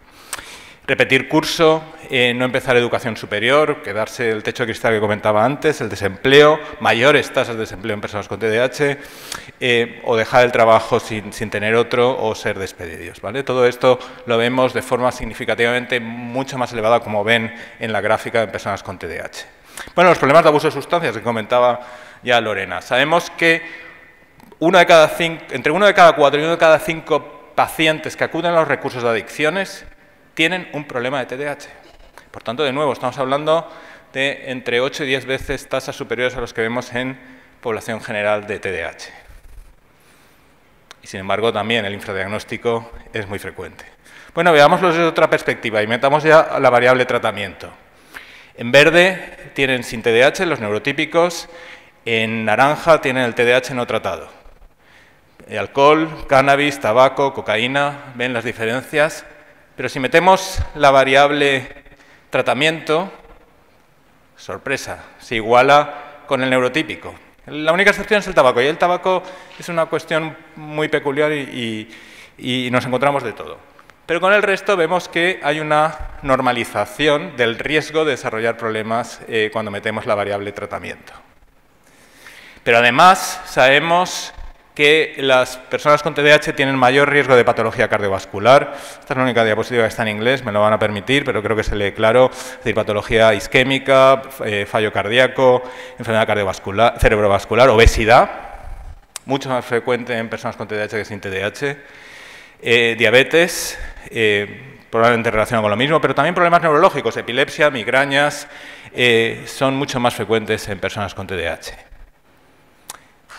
Todo ello explica en parte el por qué las personas con TDAH tienen entre 5 y 6 veces mayor riesgo de muerte prematura que las personas sin TDAH. Si además metemos la variable otro trastorno psiquiátrico, como ven, se dispara y la tasa de mortalidad eh, aumenta hasta 10 eh, veces, 8 o 10 veces lo que sería eh, ya la que tiene la persona con TDAH y por 30, eh, 40 veces el riesgo en, personas sin TDAH. ¿Y ese riesgo de mortalidad por qué es? Accidentes. ¿Y los accidentes por qué son? Distracción interna, estoy pensando en mis cosas, como hago cuando estoy en clase o estoy en, en cualquier situación, o distracción externa, que si el móvil, que si la radio, que si cualquier cosa. No filtro, no distingo lo que es ruido de lo que no es. Y todo entra al mismo nivel eh, y por tanto me distraigo con mayor facilidad y tengo mayor propensión a no ver ese pilar o a no ver que el coche de delante ha frenado. Además, insisto, si hay problemas de alcohol o hay problemas de otras sustancias, eh, el riesgo aumenta. Y el suicidio, ¿vale? Eh, cuando hablan de que es un trastorno menor, bueno, insisto, muerte prematura, riesgo de suicidio, las probabilidades de tener ideación, suicidia, ideación suicida perdón, aumenta por 3,5 veces en personas con TDAH, las tentativas de suicidio aumentan en 2,4 veces en personas con TDAH y el suicidio completado aumenta por 6,7 veces en personas con TDAH. Por tanto, es importante reconocer ese TDAH. ¿Por qué? No solo porque eh, es, muy malo, sino porque podemos recalcar todo lo positivo, ¿no? como estábamos comentando y ahora va, a comentar mi compañera a continuación. El diagnóstico es clínico. El diagnóstico, como el resto de patologías mentales, es fundamentalmente clínico, sobre todo en, adultos. En niños sí que es importante descartar otras patologías, descartar los problemas eh, a nivel neuropsicológico. En adultos es menos necesario. Eh, pero en cualquier caso necesitamos esa evaluación global como hacemos el resto de patologías y valorar que hayan síntomas en la infancia, valorar el deterioro, valorar que afecta a varias áreas. Ver no solo lo que eh, los síntomas que hay, sino muchas veces las estrategias compensatorias. Una paciente el otro día me dijo, oye, la segunda visita cuando había una mejoría muy significativa, ya estamos con el tratamiento, me dice, oye, aquí hay mucho trabajo detrás. Y trabajo detrás son estrategias compensatorias, es decir, el, que nada más entrar en casa tengo el sitio donde dejo las llaves, el que tengo todas mis estrategias, que al final pierdo tiempo, pero son mis estrategias para ayudarme, ahora esas estrategias son más eficientes con el tratamiento. Y por eso eh, es importante también, eh, lo que ayuda al tratamiento psicológico, ayuda a la medicación, es un poco a sacarle más eficiencia y eh, a darle mejor resultado a todo ello. En cualquier caso, en el tratamiento del, del TDAH, unos aspectos concretos. ¿no? A medida que los niños pasan a la edad adulta, los síntomas se van a manifestar de forma diferente, ¿vale? como hemos comentado. En el adulto eh, no es más difícil diagnosticar y tratar el, TDAH. Yo recuerdo hace unos años un psiquiatra infantil, yo soy un psiquiatra de adultos, yo no veo niños, me decía, pero el TDAH en adulto debe ser muy complicado. Digo, pues para mí lo es en el diagnosticar los niños. Eh, yo en adultos lo puedo ver bastante claro porque... Eh, tengo la experiencia y, sé dónde mirar, pero en niños me resulta más complejo. Entonces, al final es una cuestión de, práctica y, de técnica, fundamentalmente. Eh, es un trastorno sintomático, no, es un trastorno de conducta, no es un problema de conducta, sino un trastorno eh, que repercute en la funcionalidad del sujeto. Pero el problema viene que otros trastornos psiquiátricos a veces hacen confundir y a veces complican ese diagnóstico. Y en cualquier caso, los psiquiatras no solo damos medicación, eso Lorena lo sabe bien porque trabajo mucho con ella, eh, pero sí que quiero recalcar el papel del tratamiento farmacológico porque en el TDAH eh, el, efecto es espectacular. Y, no es que lo diga yo, sino dicen los estudios, lo dicen las guías clínicas. Y sabemos que el tratamiento farmacológico reduce el riesgo de accidentes, reduce el riesgo de, lesiones traumáticas por esos accidentes, reduce el riesgo de abuso de sustancias, también de, tabaquismo, reduce los problemas de, fracaso escolar, reduce el riesgo de conductas imprevistas como sexo sin protección o embarazos y también reduce el riesgo de desarrollar depresión, ansiedad Por tanto, es importante la detección precoz y el tratamiento cuanto más temprano mejor. La medicación se suele tolerar bien, eh, generalmente el tratamiento de elección son los medicamentos estimulantes. Em, y en cualquier caso, insisto, lo, importante es identificar y tratar ese, lo más tempranamente el TDAH. Cuidado, que eso no quiere decir que, ostras, si me hubiera tratado a los seis años, ahora mi vida sería diferente. Predecir el pasado es muy fácil, lo que se trata es ver a partir de entonces cómo puede mejorar las cosas.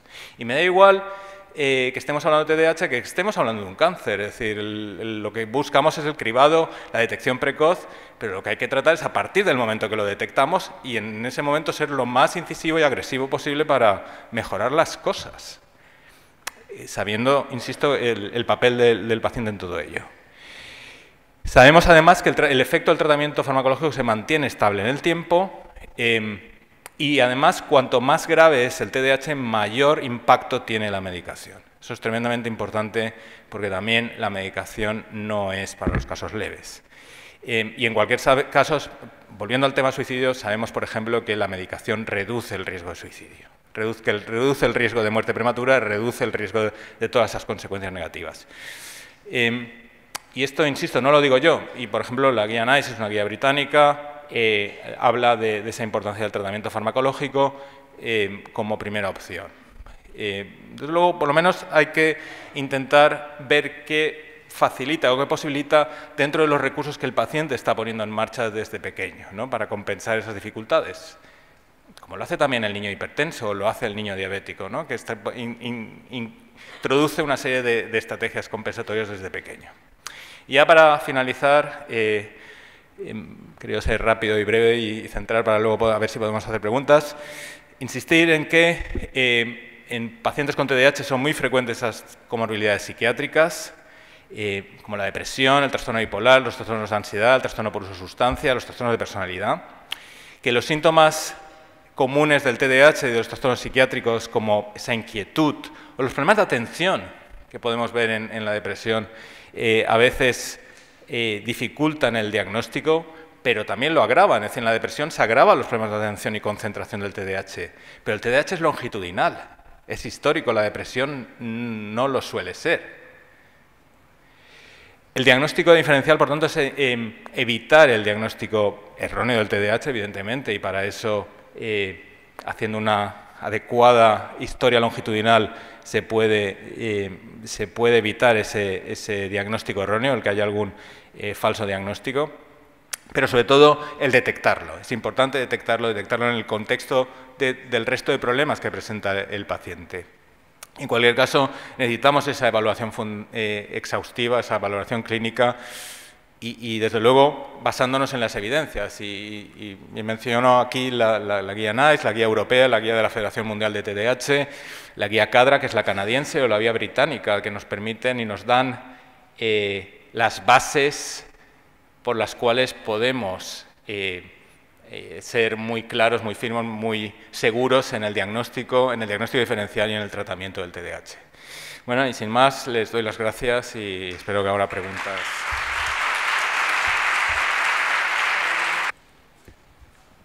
Ahora ya os dejo con la última ponente de esta mesa, eh, Carmen Echevarría, y que después habrá un turno de preguntas, ¿vale? Buenas tardes.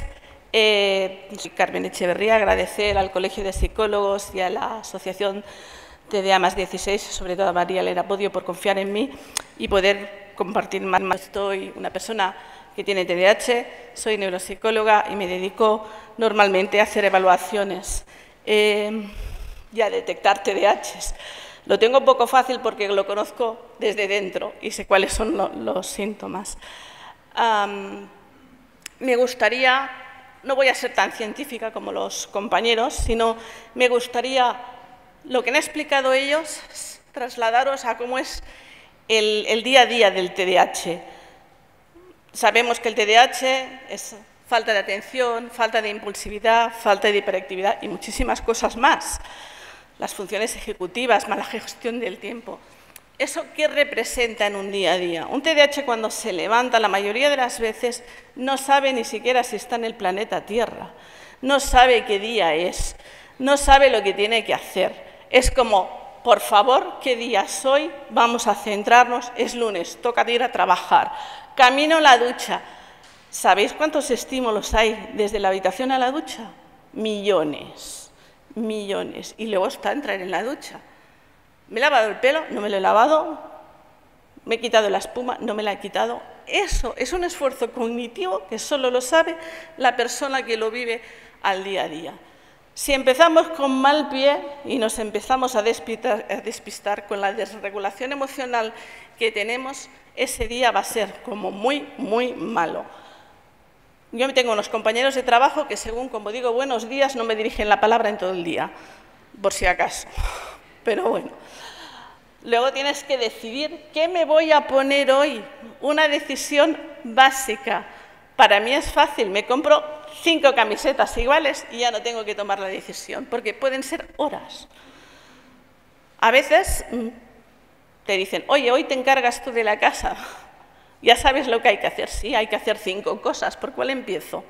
No, voy a empezar por la cocina. No, no, la cocina no, primero el baño. No, el baño no, vamos a hacer el salón. Y así han pasado tres horitas, todavía no has empezado, te llega la parejita y te dice, todavía no has hecho nada, explosión. ¿Por qué? Porque tú llevas tres horas intentando decidir.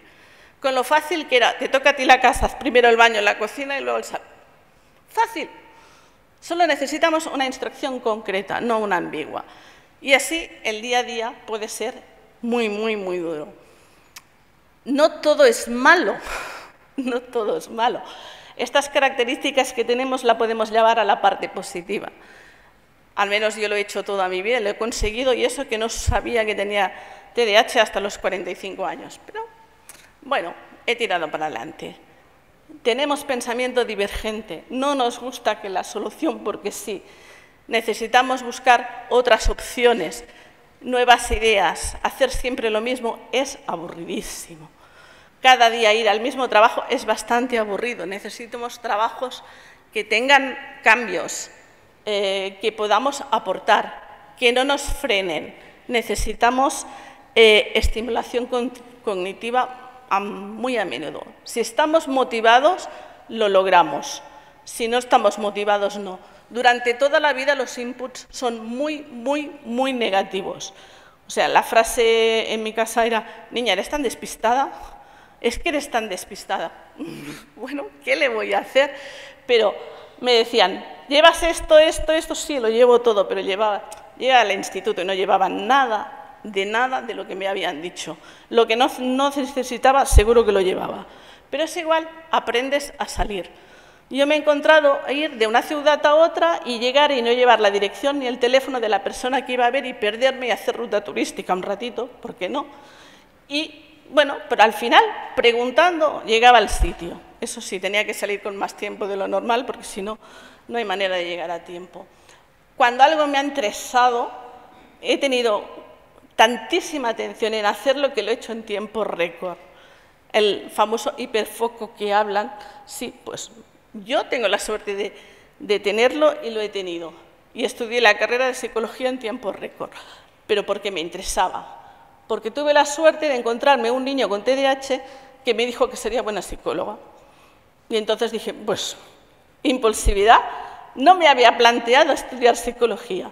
Fui a estudiar psicología y lo hice en tiempo récord. Aprendí súper rápido, pero eso lo puede hacer cualquier TDAH siempre que esté motivado. Si a un TDAH le estás diciendo todo el día que lo haces mal, otra vez eres un desastre, eres caótico, así nadie va a funcionar. Importantísimo, funcionamos neuronalmente diferente, funcionamos por instinto. Cuando un TDAH tiene hambre, no razona, tiene que comer. Cuando haya comido, razona con él. Y nunca le faltarán horas, o sea, cada cosa a su tiempo. Creo que me estoy perdiendo muy poco en la, en la presentación. Son proactivos porque evitan la monotonía. Si les pides las cosas, las hacen. Si se las ordenas, no. Si le, cualquier TDAH le dices, tienes que, ya lo has perdido, ya no está, se ha ido. Entonces, hay, tienen un lenguaje diferente. No pretendamos que porque les demos tratamientos, les demos medicación, van a funcionar como una persona neurotípica. Nunca van a funcionar como una persona neurotípica. Piensan diferente, viven diferente y actúan diferente. ¿Por qué tenemos que estudiar sentados? Se estudia estupendamente en la bicicleta estática, andando por el pasillo o jugando a básquet. Es muy fácil. Yo lo hacía. Pero sentar en la silla mmm, es bastante incómoda. Es bastante incómoda. Hay muchas maneras de estudiar. Las técnicas de estudio no están pensadas para una persona con TDAH. A mí cuando me decían, lectura rápida y luego lectura lenta, digo, ¿para qué? Si con una ya tengo bastante. O sea, y luego, claro, si tienes poca memoria de trabajo, te lees la página, llegas abajo y no sabes de qué va. Entonces, habrá que cambiar la técnica de estudio para esa persona. Entonces, no pretendamos que funcione igual que las otras personas. Vamos a, respetar y a ver el mundo como lo ven ellos. Son emprendedores, emprendedores porque se aburren. Cuando fijan un objetivo, son tenaces, lo consiguen. El problema es mantenerse en el objetivo, porque una vez lo tienen, ¿y ahora qué? O sea, si consiguen un trabajo, tiene que ser un trabajo que siempre puedan ir escalando. En el momento que, que haya un freno, que no ven que van a poder saltar más adelante, ese trabajo lo van a dejar de una manera o de otra. Pero si tienen a alguien al lado que les ayuda a desarrollar las ideas que tienen, que son muchísimas, las van a desarrollar y con que son impulsivos, no van a contemplar todos los riesgos y van a arriesgar. Y muchas veces apuestan y ganan, siempre que tengan un equipo al lado que les ayude.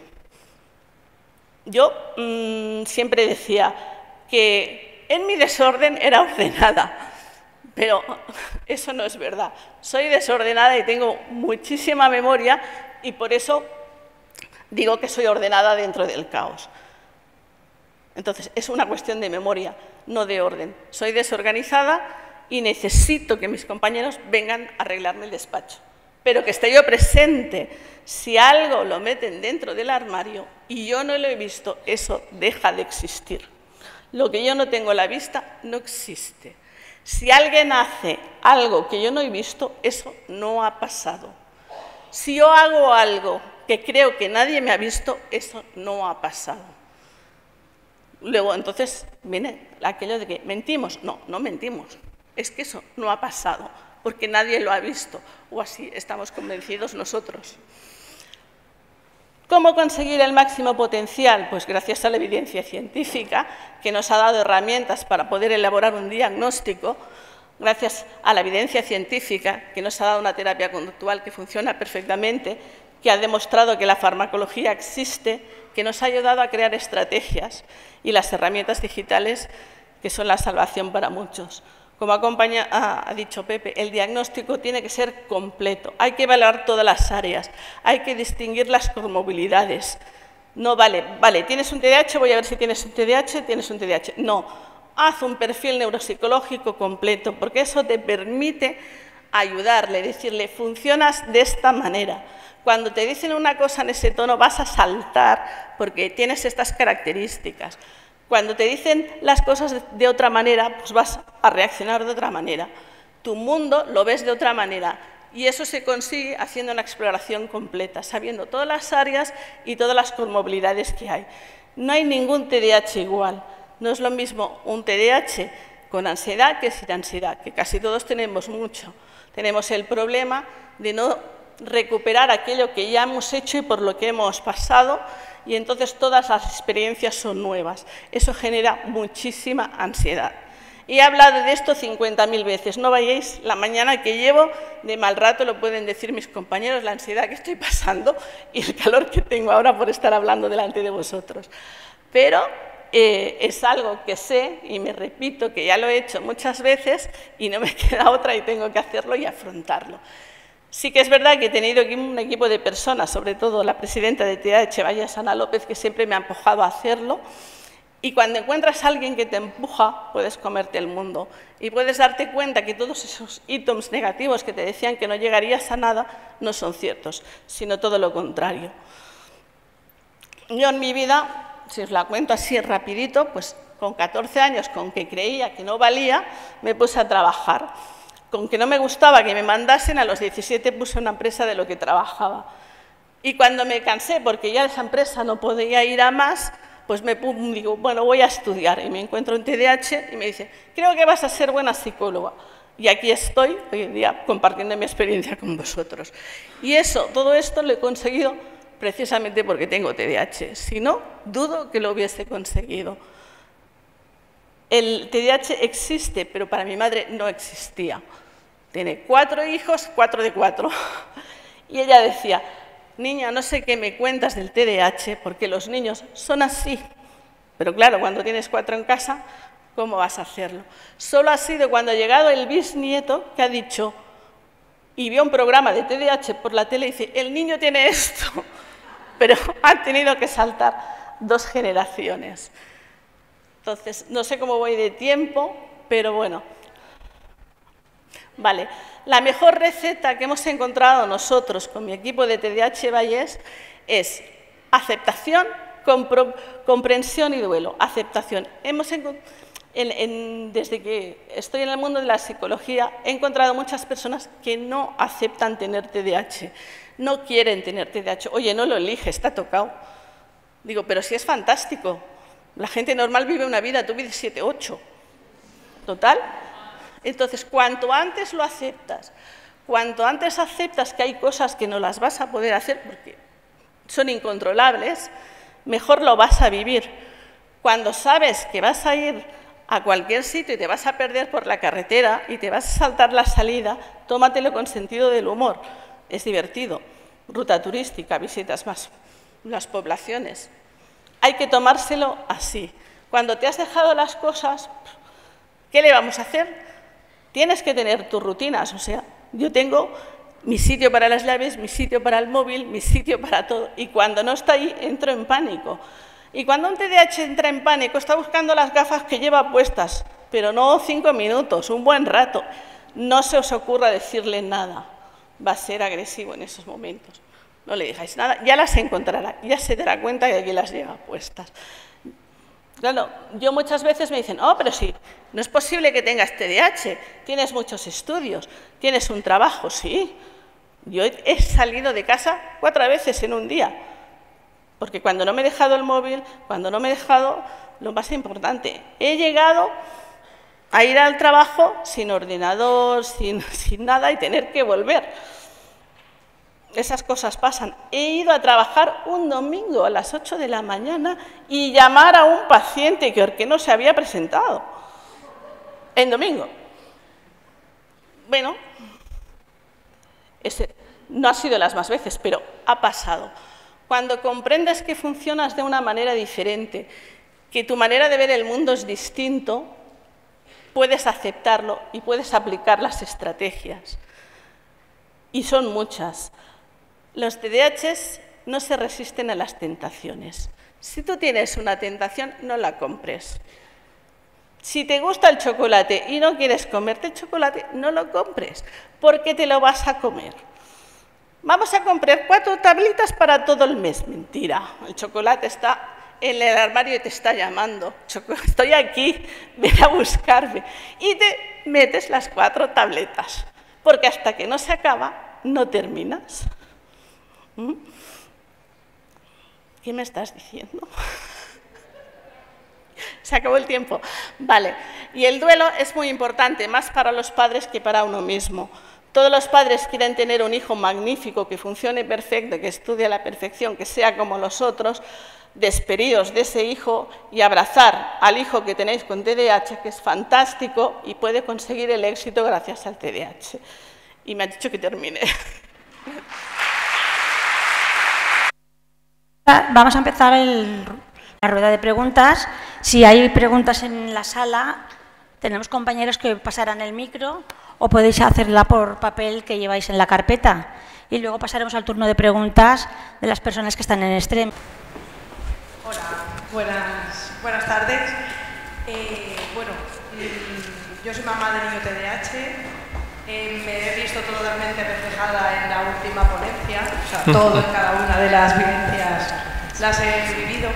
Y bueno, eh, ahora estamos conmigo en el eterno dilema de la medicación, ¿no? Porque por los estudios que hemos visto está demostrado que sí que puede mejorar, o sea, que mejora en todos los aspectos, pero es cierto que tú tenés un prospecto de esa medicación y tiene tantos efectos secundarios que al final valoras si realmente eh, la mejora a nivel conductual, a nivel atencional, compensa con, todos los efectos secundarios que, que, tiene. Entonces, es un poco eh, una, esa duda es la que tengo, ¿no? Que realmente vale la pena, o sea, es recomendable, aparte de luego tener pues mm, terapia o seguir con, con, otro tipo de tratamiento clínico, no solo de la medicación, pero es aconsejable siempre que una persona que tiene TDAH se siga la Sí, bueno, lo podemos hacer cualquiera de los dos, pero hay que entender que la base biológica del problema al final se traduce, tiene un origen genético, pero son los genes transportadores de los neurotransmisores responsables del cuadro clínico, de la dopamina y de la noradrenalina. Lo que hace la medicación es que inhibe la recaptación de esos neurotransmisores y se potencia la acción a nivel de la unión sináptica, o sea que tiene un fundamento evidente. Uno, si quiere conseguir la mayor mejoría, pues tiene que hacer un tratamiento combinado, porque si hace solamente la parte de intervención cognitiva conductual o solamente la farmacológica, pues pierde eficacia. Entonces lo que hay que hacer es a los padres, en este caso habría que convencerte, entre comillas, de que el beneficio va a ser mayor que la posible efecto secundario, que son mínimos si tú haces una medicación titulada lentamente progresiva. La verdad es que casi no hay efectos adversos. Evidentemente, cuando uno se cualquier prospecto médico, siempre te echas a temblar, ¿no? Pero yo creo que lo que hay que hablar a los a los padres de las personas, en el caso de los niños, es decirles que el beneficio va a ser mucho mayor que el riesgo de seguir con la problemática clínica. El niño no se va, entre comillas, a curar si hablamos de, un trastorno que tiene efectos como ha puesto el doctor Raga, tan importantes, o la, compañera que ha puesto la parte clínica. O sea, yo creo que, que también apoyarse en la parte que yo he expuesto de las evidencias para demostrar que no es un trastorno que nos estamos inventando y que la parte farmacológica es fundamental, porque con la parte cognitivo-conductual llegarás a una mejoría de un 75-80% según estudios de la MTA, que ya son clásicos, ¿no? Sí. Eh, no, solo eso, es decir, eh, déjame que te haga una pregunta, no, no quiero respuesta, pero si tuviera tu hijo diabetes, eh, ¿tendrías las mismas dudas en cuanto a, a, que se tomara insulina? Quiero decir con esto, no, no, no hace falta que me respondas, pero eh, piensa que eh, hay que pensar en el cerebro, no en la mente, ¿vale? El cerebro se inflama, el cerebro tiene unas alteraciones, como ha comentado eh, Fernando, que son las que tratamos, que son las que intentamos corregir, ¿vale?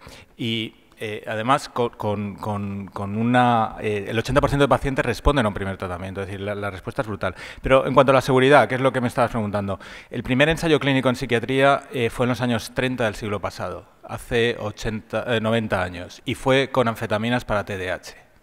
Desde entonces, tú piensas la de millones de niños, adolescentes, adultos que han sido tratados con anfetaminas. El metilfenidato sale en los años 50, la tomoxetina un poquito más reciente, pero, eh, insisto, los millones de niños. Es decir, y, te aseguro que, el análisis, las auditorías que han llevado estos medicamentos nos permiten asegurar que no solo a corto plazo, a medio plazo, sino a largo plazo, en los, incluso en pacientes tratados durante 30 años, eh, la seguridad es absolutamente eh, eh, es absoluta, ¿vale? Incluso se ha visto que hay menor incidencia de muerte súbita en niños tratados con TDAH que en personas de niños de población general. Eh, hay atletas profesionales tomando medicación y el corazón no lleva mayor trabajo. Es decir, seguridad absoluta, si yo tuviera un hijo, no tendría ninguna duda. Y desde una vertiente psicológica, anotar también que muchas veces Em, al igual que con otros trastornos, necesitamos que el paciente esté medicado, fíjate. Es decir, para la aplicación del desarrollo de estrategias necesitamos que estén regulados emocionalmente, si no es imposible. Eh, las estrategias de afrontamiento, las estrategias de manejo, entonces es muy importante la medicación porque, como dicen mis compañeros, el tratamiento combinado, ninguna es exclusiva, lo decía en mi presentación, pero es que son ambas necesarias y las dos coadyuvan en el éxito del proceso terapéutico. Nada. Me vas a permitir, además, te agradezco muchísimo la pregunta. Eh, eh, no solo eso, y estoy, me alegra que Lorena haya hecho esa puntualización. Otro aspecto que, quiero que, absolutamente todo el mundo tenga claro, y si algún médico le dice lo contrario, eh, amenácele con mala praxis, la medicación no se interrumpe ni en fin de semana ni en vacaciones. ¿vale? Como no interrumpirías la insulina, como no interrumpirías la medicación para la hipertensión, ¿Vale? El, si no, el cerebro tiende a su eh, forma, a cómo funciona habitualmente. Entonces, lo que estamos intentando es corregir, enseñar al cerebro cómo utilizar esa dopamina que no está utilizando. Por lo tanto, si no hay continuidad, y además se ha visto que el tiempo total con medicación es menor si es continuo que si es interrumpido. Por lo tanto, a todos los niveles es mejor. Buenas tardes, eh, mi nombre es Ligia, yo soy paciente TDA mexicana, tengo 26 años, estoy diagnosticada desde los 6 años y medio, llevo en tratamiento farmacológico desde esa edad. he hecho todo, terapias de acompañamiento, eh, terapia cognitivo-conductual, he cambiado entre un par de medicamentos, eh, terapia psiquiátrica, terapia psicológica a lo largo de mi vida y estoy llegando a un punto en donde todas las estrategias que aprendí en estos espacios de terapia y como me aprendí a conocer yo como individuo, ya no están siendo suficientes. Y están volviendo a salir, y por más que sigo medicada, están volviendo a salir como ciertos rasgos muy específicos del TDA, igual y no en cuanto a rutina, pero sí, por ejemplo, en cuanto a constancia, y cosas que genuinamente empiezan a ser muy destructivas, sobre todo en un adulto que tiene que ser completamente independiente y autosuficiente y mantenerse, etcétera.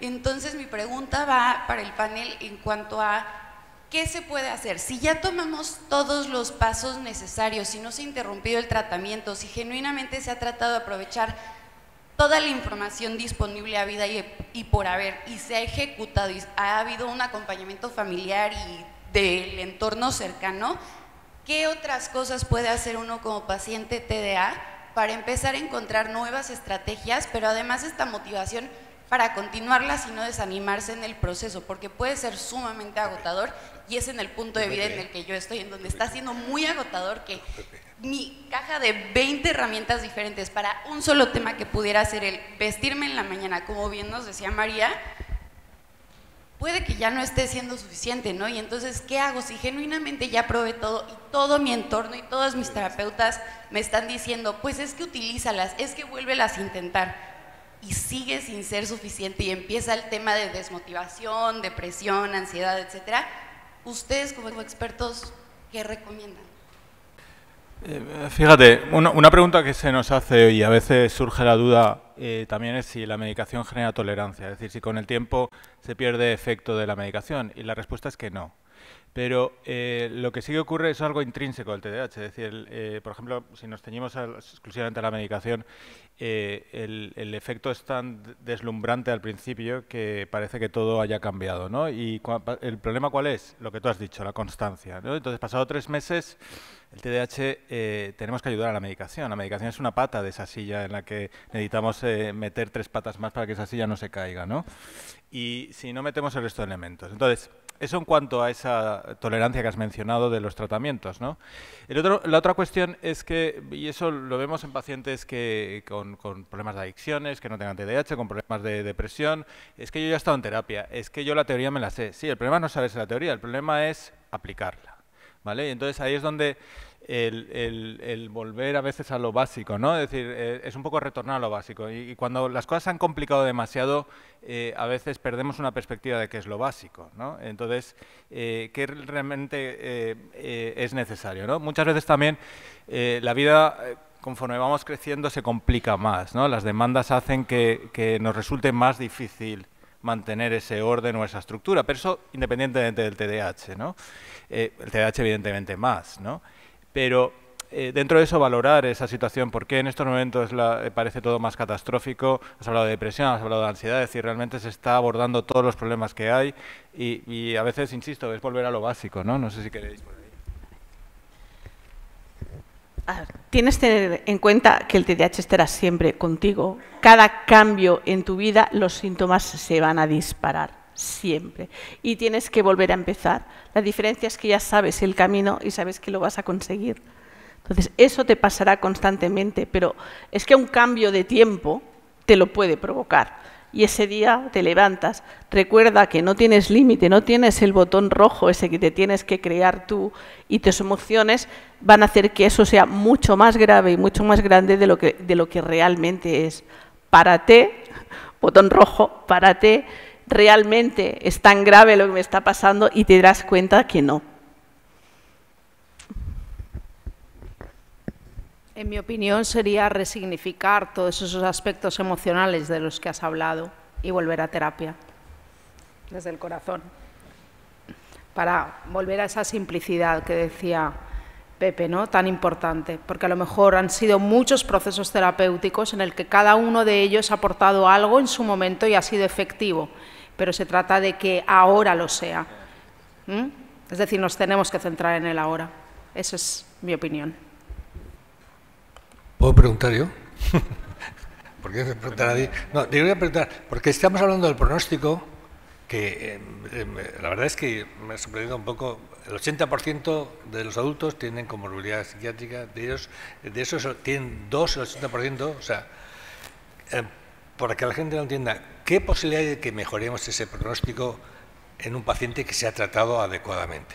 Porque claro, el no tratarlo tiene el riesgo de que luego esa comorbilidad va a ser posiblemente más grande. Quería que comentar eso. Claro, te, agradezco la pregunta, ¿no? Y además también yo creo que eh, liga con, el comentario que, habéis hecho ahora. Es, cierto que, bueno, el, el TDAH es para toda la vida, pero eh, sí, que, sí que buscamos esa remisión. ¿no? Entonces, eh, lo que buscamos con el tratamiento, ¿no? No, solo la medicación, sino el tratamiento psicológico, el tratamiento, el apoyo, es eh, conseguir que, que el cerebro. El cerebro es tremendamente plástico al final, ¿no? y es lo que estás intentando modificar y que le dé sentido a todas esas estrategias que ha realizado el paciente. Entonces, lo que sabemos que el tratamiento disminuye el riesgo de que las, cualquier trastorno psiquiátrico se manifieste, ¿vale? por tanto los síntomas. Yo en mi primera diapositiva he hablado de la desregulación emocional. Si con el tratamiento eh, haces que, haya una regulación emocional, facilitas eh, que no aparezcan los problemas afectivos, ansiedad, depresión, problemas con el uso de sustancias, facilitas por tanto un mejor control ejecutivo de todo lo que está ocurriendo en el interior y facilita el control externo también de esas dificultades. Em, pero necesitas una continuidad y necesitas una constancia. La constancia es la dificultad. Bueno, suplámoslo, como comentábamos antes, eh, en Petit Comité, por tenacidad. El, TDAH es muy cabezota, es muy blanco y negro. Bueno, pues eso nos ayuda y entonces eh, aprovechemos esas, eh, esos aspectos positivos que, tiene cualquier persona, esa singularidad que quería destacar en mi primera diapositiva. ¿no? Entonces, yo creo que por ahí, y, sí que buscamos esa remisión, y sí que buscamos el que, eh, fijaos, es decir, yo cuando me viene un adulto, eh, se me viene con un, con un problema de depresión exclusivamente, yo siempre le, decimos que eh, si necesita medicación, pues la medicación 6 a 12 meses de, de, tiempo, ¿no? Con el TDAH yo lo que le digo es, bueno, tres años y veremos, ¿no? ¿Por qué? Pues porque modificar el día a día cuesta mucho más cuando además es algo que llevamos arrastrando durante décadas. Por tanto, necesitamos ahí esa tenacidad, esas dificultades y por eso lo que estás comentando de arrastrar esos problemas y, pero eso no quiere decir que siempre sea así. No, no quiero, eh, me gustaría eh, dar un mensaje positivo, dar un mensaje de, soluciones, dar un mensaje. El, diagnóstico aporta sentido. ¿Por qué eh, soy así? ¿Por qué soy diferente? No, no eres diferente, eres, eres singular. Pero como lo somos todos y tienes muchas cosas mucho más positivas que las personas neurotípicas. Por tanto, saquémosle provecho a eso. Y eso es lo que se trata. ¿no? Eso es lo que tiene el TDAH. A mí me gusta también por eso, porque le da sentido. Y da sentido a pacientes que muchas veces han estado rebotando por 20.000 eh, terapeutas eh, y, cada vez más confusos y más ofuscados eh, en que no nada me soluciona nada. ¿no? Sí, yo quería comentar, porque siempre nos preguntan eso, oiga, ¿esto es para toda la vida? Porque si es una base genética, es la pregunta que también quería comentaros, ¿no? Yo siempre suelo ser muy positivo, porque tú puedes tener un TDAH para toda la vida, pero no tienes una desregulación para toda la vida, que es lo que tratamos de convencer a la gente. O sea, que hay que ser en sentido totalmente optimista, y si no estás regulado, estás normotípico, y con la ventaja de ser TDAH, que tiene sus ventajas. Por ahí Haz la pregunta y ahora pasaremos una de, Internet, porque las demás de, que han hecho por Internet se han contestado ya. Casi todas hablan de la medicación. Pero hay una que me ha eh, llamado mucho la atención. Vale, bueno, buenas tardes. Gracias por compartir con todos tanto conocimiento. Eh, primero decir que no soy profesional, entonces a lo mejor la pregunta no, no la formulo adecuadamente, pero bueno, llevo 14 años aprendiendo sobre TDAH y una de las cosas que he aprendido recientemente es el tema de la epigenética.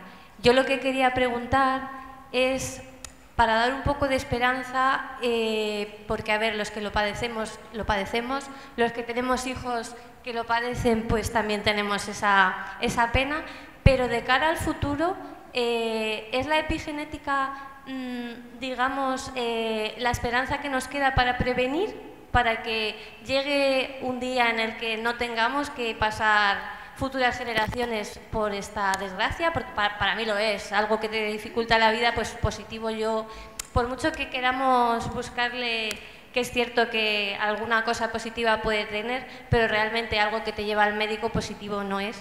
¿Es posible que esa sea la vía eh, o realmente no, que queda demasiado? Yo puedo comentar.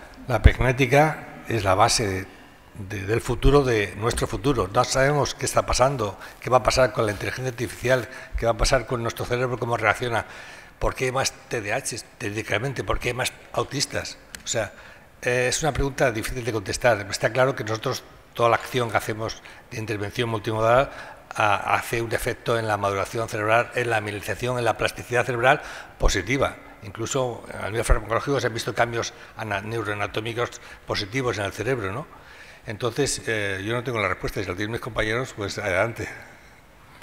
No, de, todas formas, eh, para los que no, no, estén familiarizados, la epigenética lo, que, lo que implica es eh, la manifestación de ese riesgo genético con la interacción en el medio ambiente, ¿vale? Y cómo eso se manifiesta a nivel individual. Por lo tanto, eh, volvemos a la singularidad, volvemos a, entender el cómo eh, ese riesgo individual se manifiesta. Y evidentemente estamos en una época, yo creo que muy eh, muy bonita desde el punto de vista profesional, porque estamos hablando de eh, medicina individualizada, medicina de precisión. La medicina de precisión lo que implica es que a partir de, ese análisis genético puedas aplicar los tratamientos, no solo farmacológicos, sino también no farmacológicos, psicológicos, en función de, qué características génicas y genéticas, no solo en relación a, lo que no está bien, sino también en cuanto a los potenciales para eh, apurar al máximo esa individualización. Y por ahí va a ir el futuro, y va como ha comentado Fernando además, con las nuevas tecnologías, la, inteligencia artificial, todo ello, los TICs, ¿no? las tecnologías eh, de la información, todo ello va a aportar una nueva visión y, nuevas opciones a nivel terapéutico y a nivel diagnóstico no solo en el TDAH, sino en todas las patologías mentales y no mentales, ¿no? psiquiátricas y no psiquiátricas. Hola. La última pregunta de, en Internet, casi todas son parecidas porque son, hablan de la medicación, se han se ha resuelto casi todas las preguntas. Pero hay una que me ha llamado mucho la atención de un chico que se llama Manuel y dice, tengo un paciente de 80 años con estilo de vida muy juvenil al que le acaban de detectar TDAH, que sigue muy intenso en él pese a su edad y le influye mucho en su vida. ¿Se puede medicar el TDAH a esta edad? 80 años. De hecho, yo me acuerdo que cuando estudiaba medicina hace 40 años, a los adultos mayores, mayores de verdad, se les da un pequeña dosis de metilcinato y va muy bien en algunos casos. Pero supongo que tú, Pepe, habrás visto también adultos así de estas características. Mayores, vamos. Sí, ahora, lo comentamos con, con, Lorena, ¿no? un paciente que, que eh, valoramos los dos y, que tenía 80 años. ¿no? El, problema es, nos lo traía la, la, cuarta mujer, creo que era, ¿no? Y, eh, y que decían, yo es que o cambia o me separo, ¿no? Claro, a los 80 años el, el qué esperas, ¿no? En cuanto a cambiar, ¿no? Entonces, eh, eh, depende de, lo adaptado que estemos y demás, ¿no? Entonces, eh, realmente el cambio que al final hizo fue cambiar de mujer, ¿no? Buen consejo. Muy bien. Pero se puede tratar. La respuesta es se puede tratar. A ver, es que es lo que digo yo, una vez comprendes cómo funciona esa persona, es una cuestión de adaptación. O sea, tenemos muchos ejemplos de que el que necesita terapia muchas veces es la pareja, no el propio TDA, porque el TDA lo asume, sabe lo que le pasa. El que, pasó, el que está al lado quiere que funciones como él y es que eso no va a pasar, lo siento, no va a pasar. Hola, pues, pues, muchas gracias a los cuatro, ha sido muy intenso y muy interesante. Ojalá tuviéramos más tiempo, tenemos que dar paso a la siguiente mesa. Muchísimas gracias por haber venido.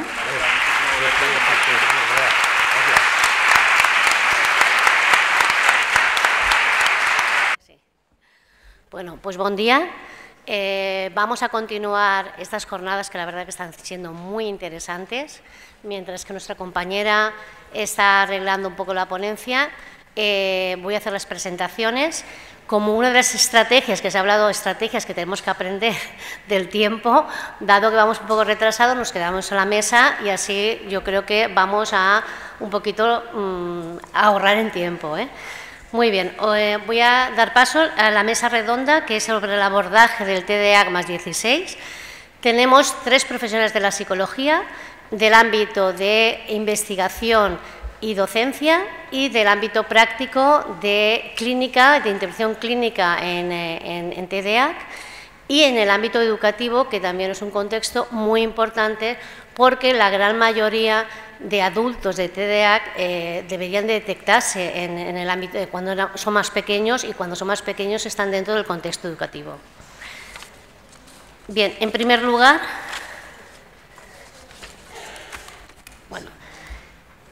En primer lugar, eh, tenemos a Sonia Martínez Sánchez. Ella es profesora titular de la universidad, eh, directora de la Unidad de Investigación de Trastornos del Neudesarrollo, Departamento de Psicobiología de la Facultad de Psicología de la Universidad de Valencia tiene muchas líneas de investigación, las líneas de investigación actuales están muy relacionadas con todo lo de las jornadas, tiene las líneas de neuropsicología y autorregulación emocional en niños y niñas con trastorno de espectro autista y sus familias, y neuropsicología, y TDAH. Ella pues, mm, es una gran investigadora, ha hecho muchísimas publicaciones y le escucharemos a Lorena. Lorena. Está arreglándose la ponencia. ¿eh? Bueno, en, segundo lugar, tenemos a la compañera Lorena Rodríguez González. Ella es neuropsicóloga pediátrica, Clínica Neurokit Valencia.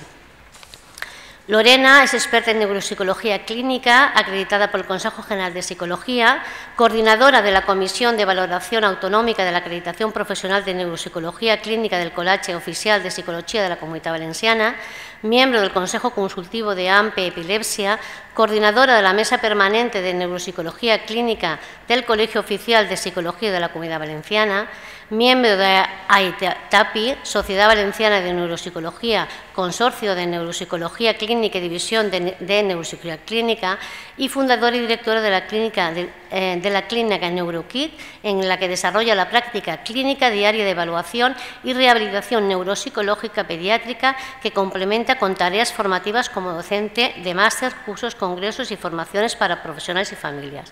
Lorena, te lo he presentado todo. ¿eh? vale.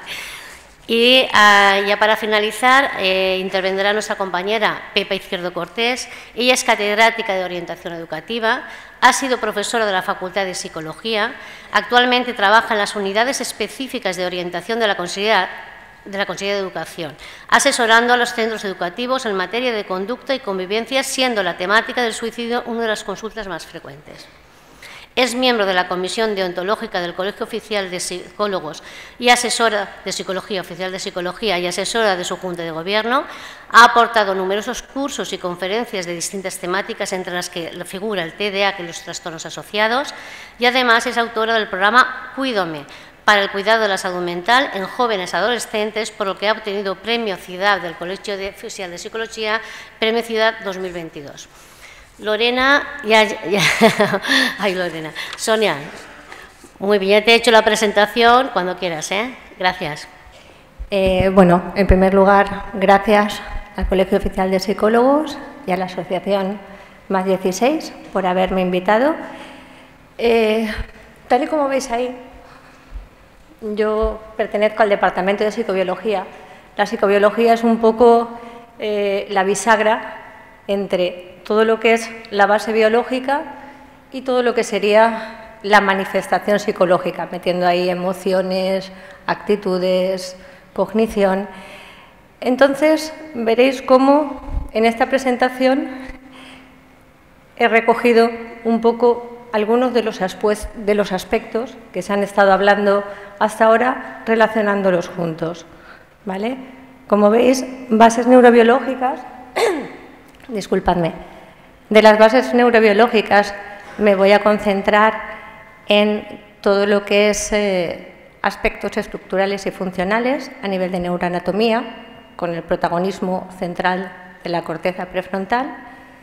En funciones ejecutivas voy a distinguir entre componentes fríos y componentes calientes, que es otra forma de aproximarnos a las funciones ejecutivas y que explica todos los aspectos que podemos ver regulados de forma diferente en el TDAH y quería hacer especial énfasis en los componentes cálidos, porque uno de los aspectos más importantes es la desregulación emocional que, como las otras ponentes han destacado, tiene que ser una diana de, intervención desde el principio, dándole el mismo peso que le estamos dando a control atencional, memoria operativa de trabajo, importantísimo, porque es uno de los componentes que también puede estar desajustado.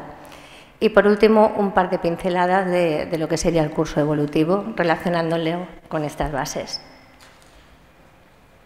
Esta la voy a pasar porque ya la habéis visto por muchos sitios. ¿vale? Eh, esta sí que la voy a dejar, aunque lo hayáis comentado en, otras presentaciones. A ver, importante. De hecho, en las jornadas es más 16, curso evolutivo. Se da a lo largo de todo el ciclo vital. Luego veremos cómo el hecho de que se puedan fabricar más conexiones como consecuencia del tratamiento combinado, tanto farmacológico como psicológico, es lo que explica en parte que, entre comillas, el diagnóstico se caiga en algunos adultos por esa formación de conexiones. Y esa formación de conexiones, que está relacionada con la neuroplasticidad, de la que también hablaban, se produce por tres, yo diría tres pilares. El contexto adecuado en el que se acepta, hablábamos antes de aceptación, en el que se favorecen los aprendizajes desde el punto en que está la persona con el diagnóstico y la intervención doble, tratamiento farmacológico y tratamiento psicoeducativo en todos los aspectos tanto en los componentes eh, puramente cognitivos, sin, sin contexto afectivo, como en los componentes con un contexto afectivo y motivacional importante. Eh, de esta diapositiva yo quería destacar la última parte. Los síntomas pueden ser mínimos o ausentes en algunas circunstancias. Cuando recibe las recompensas por conductas apropiadas, ¿qué es lo que ocurre a lo largo del, del curso evolutivo? Los olvidos, los errores son castigados. Pero tenemos problemas para, desde el TDAH para anticipar las consecuencias de los actos, con lo cual esos castigos no sirven. Las bases fundamentales del aprendizaje son refuerzo positivo, pero claro, el refuerzo positivo tiene que ser contingente y cercano en el tiempo. No me vale a, si lo haces, el fin de semana conseguirás, no me sirve.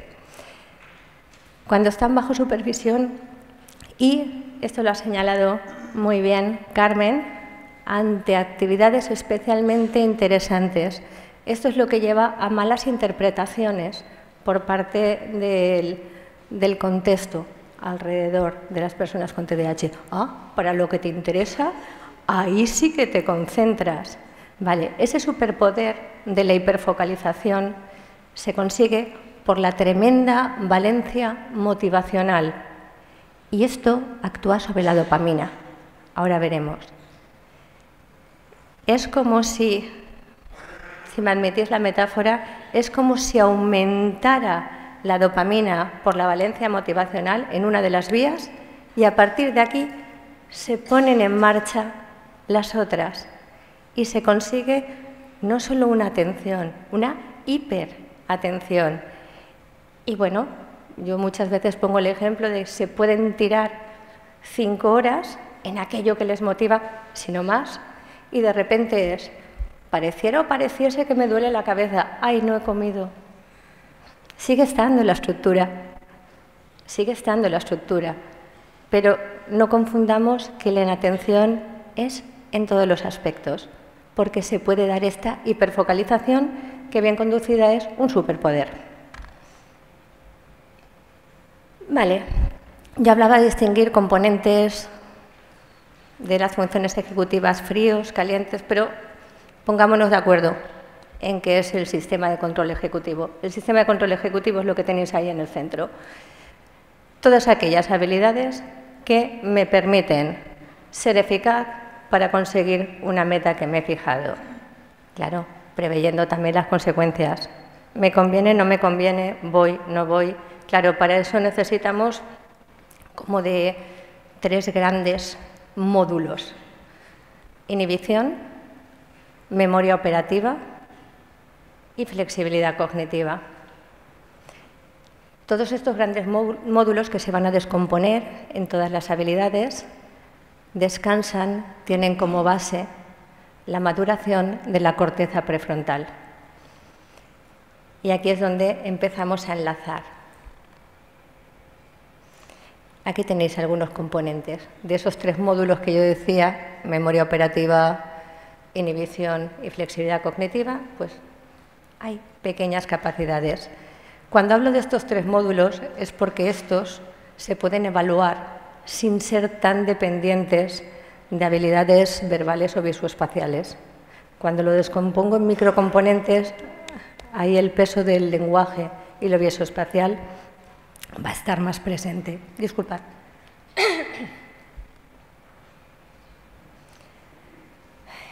Esos tres componentes. Sigamos avanzando con la corteza prefrontal. La memoria de trabajo memoria operativa eh, estaría regulada por la corteza prefrontal lateral. Para entendernos, gracias, para entendernos. Imaginad que hacemos aquí un corte, ese sería un corte sagital. Todas las zonas del cerebro que caen cerca del lugar del corte es línea media. Todo lo que está hacia los lados es la parte lateral.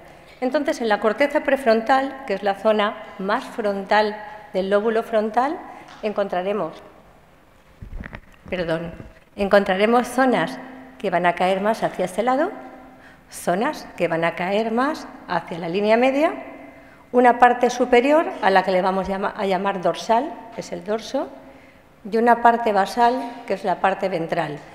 Os explico estas cuatro coordenadas básicas porque cada una de estas zonas se va a relacionar en circuito cerrado con componentes claves de las funciones ejecutivas.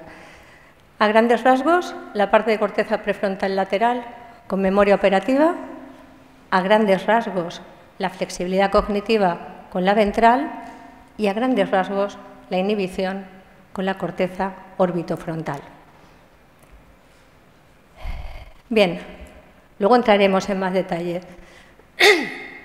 Hablaba de maduración de corteza prefrontal. Un poco aquí tenéis en esta gráfica cuáles son los momentos puntuales de maduración de la corteza prefrontal. Esta zona es la última que se organiza a nivel embrionario y es la última que madura. Los cerebros de personas dentro del espectro del TDAH también maduran. Maduran desde donde están organizados, pero siguen madurando. En términos generales, también como comentaba antes eh, otra ponente, Lorena, yo también estoy de acuerdo con que acabar en los 20 ya en cajón neurotípico con todas las diferencias neuróticas del mundo, ¿vale? Cada vez estamos hablando más de los 25. Vale, pues si esto es para perspectiva neurotípica, a cualquier trastorno del neurodesarrollo le tenemos que aplicar un factor de corrección de unos 3-4 años más. Esto yendo toda la intervención bien. ¿Vale? Entonces, fijaos, no está terminado de madurar a las mismas edades. Recuerdo que la maduración depende de los aprendizajes. Si los fármacos me permiten sostener más la atención, voy a poder hacer los aprendizajes que me corresponden. Y gracias a esos aprendizajes es como mi corteza prefrontal va a madurar. ¿Qué significa madurar? Madurar, ahí tenéis lo que es la formación de sinapsis. Madurar significa formar sinapsis.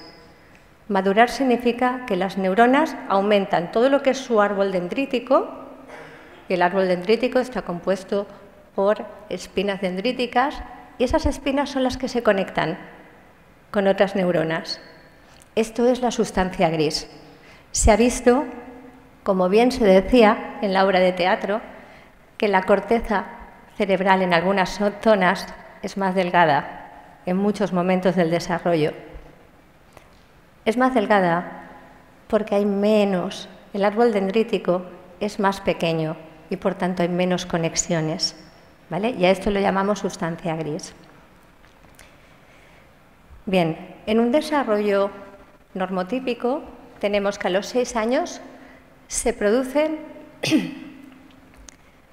el máximo de sinapsis frente a los años anteriores. Y se va a producir un máximo en relación con los, con los, aprendizajes que se han ido haciendo. Y de ahí va a haber una poda, una poda sináptica. Se van a eliminar las sinapsis menos eficientes. En la adolescencia se va a producir otra segunda poda en la que la mitad van fuera. Y ser ineficientes son significa que hay una peor comunicación. Bueno, pues se ha visto, hay muchos estudios que lo respaldan detrás, que esta formación de sinapsis a los seis años, esta primera poda sináptica, es más ineficaz en las personas que después recibirán el diagnóstico. Vale, para mí es importante que haya cambiado la edad diagnóstica pero el que haya cambiado la edad diagnóstica no significa que no tengamos que hacer un perfil neuropsicológico de necesidades y que se intervenga, y que se intervenga a nivel psicoeducativo. Importante. ¿Por qué es importante? Porque a partir de esta intervención se pueden formar nuevas sinapsis y puede que a los 12 no lleguen a criterio clínico. aunque se tenga que seguir trabajando, pues como hablábamos antes, en términos psicoeducativos, y ahí meter regulación emocional, autoconcepto, estrategias de estrés. Puede que a los 12 no se han creado las conexiones suficientes, no pasa nada, seguimos trabajando. El cerebro es muy plástico y muy agradecido a las intervenciones adecuadas. Y entonces es cuando ocurre que seguimos trabajando y si el contexto es el apropiado, se forman nuevas sinapsis después de los 12. Y esto es lo que hace que la mitad de los diagnósticos que se hicieron a nivel infanto-juvenil en la edad adulta se caigan a la mitad. Fueron bien diagnosticados. La forma básica de funcionar está, pero hemos llegado a ser funcionales y a quedarse a nivel subclínico. Por eso, intervención siempre combinada en los momentos que haga falta, pero la intervención siempre tiene premio, siempre tiene ganancia, porque nuestro cerebro es plástico.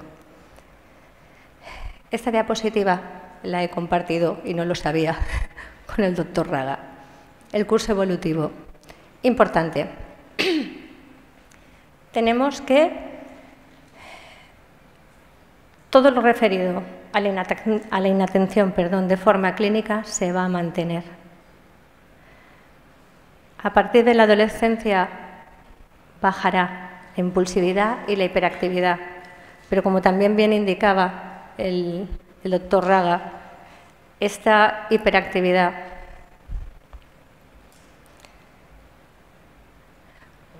puede ser comórbida con ansiedad. Y entonces esa hiperquinesis es en tocarse lo que veíamos muy bien en la obra de teatro con Laila, todo lo que hacía con el pelo, por ejemplo. Eh, la comorbilidad a partir de la adolescencia está directamente relacionada con las estrategias que han podido desarrollar o no antes, con el autoconcepto. Si yo todo el tiempo estoy oyendo que soy un desastre, que soy vaga, porque yo para lo que quiero sí que me concentro. Pobres estrategias de estrés, bajo autoconcepto y problemas de comunicación con mis iguales y con los otros son los grandes potenciadores para que se desarrolle o un trastorno del estado de ánimo o trastornos de ansiedad muy frecuentes y empiezan a debutar en esta época o pueden empezar a debutar en esta época. Quiero hacer un pequeño paréntesis porque esto sí que creo que no se ha mencionado en toda la jornada. La perspectiva de género o no se ha mencionado, creo que con mucho detalle. Mucha chica infradiagnosticada, mucha chica que enmascara los síntomas en lo que puede, enmascara en lo que puede los síntomas. Esto lo estamos teniendo presente también con otros trastornos del neurodesarrollo, como el autismo. Muchas chicas que intentan por todos los medios acoplarse socialmente. Claro, si yo enmascaro frente a una presentación más masculina, hay todas las diferencias individuales del mundo, ¿vale? Que es la de hacia afuera, Locus de control interno, la culpa de todo lo que me pasa es mía, soy un desastre. Locus de control externo, es que claro, ponen unas reglas.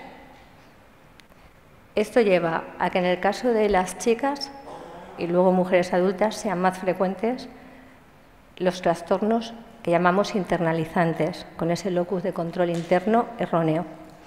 Trastornos del estado de ánimo, trastornos de ansiedad.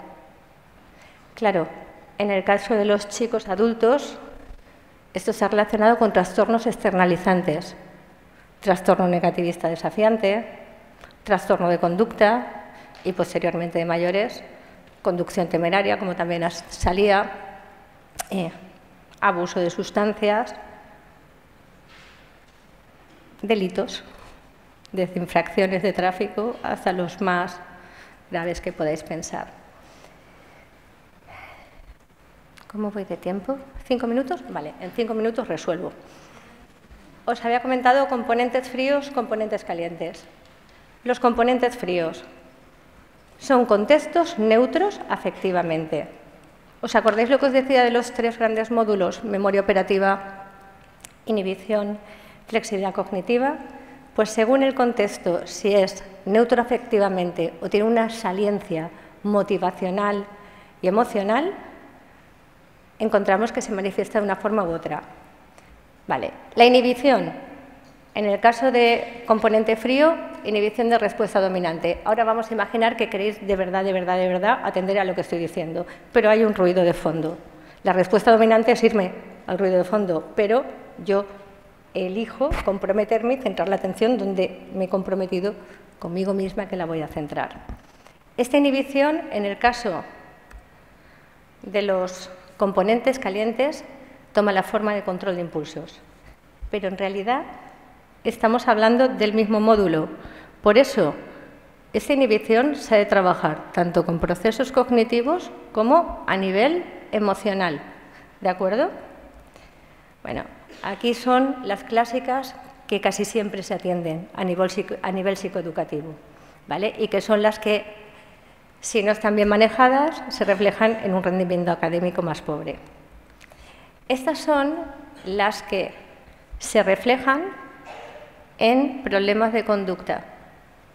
Si los problemas de conducta los internalizo, estudio el doble de los compañeros para tener unos rendimientos mínimos a nivel académico, como chica no me van a diagnosticar. Porque lo que da la voz de alarma es contexto educativo. Eh, fijaos que ahí se coloca la empatía y la cognición social. Si hablamos de empatía, deberíamos de distinguir tres componentes. La afectiva, la cognitiva y la compasión. Muchas personas con TDAH son altamente compasivas, resuenan afectivamente con el otro, pero por la impulsividad a nivel cognitivo, empatía cognitiva, no se están enterando de qué está pasando. Y ahí es cuando entran en torpeza, en torpeza social. Voy a acabar con esta. ¿Vale? Ya noto la, la presión. Vale. Os había, os había comentado que esa división de la corteza prefrontal como base de ese funcionamiento ejecutivo todavía tiene como muchos más centros. ¿vale? Ahí me he permitido mantener el mismo código para favorecer la atención. En azul os encontráis las zonas de la corteza prefrontal que están relacionadas con los componentes frío de las funciones ejecutivas. En rojo tenéis los componentes de la corteza prefrontal que están relacionados con los componentes calientes de las funciones ejecutivas. Eh, a nivel de componentes fríos, memoria operativa. Memoria operativa tenemos la corteza prefrontal dorsolateral por su comunicación con el hipocampo, hipocampo aprendizaje. La dorsolateral relacionada con atención sostenida. esto que señalo aquí, la circunvolución del cíngulo anterior relacionada con atención selectiva. La corteza prefrontal ventrolateral también está relacionada con aspectos de eh, control atencional. A nivel de componentes cálidos, la corteza ventromedial,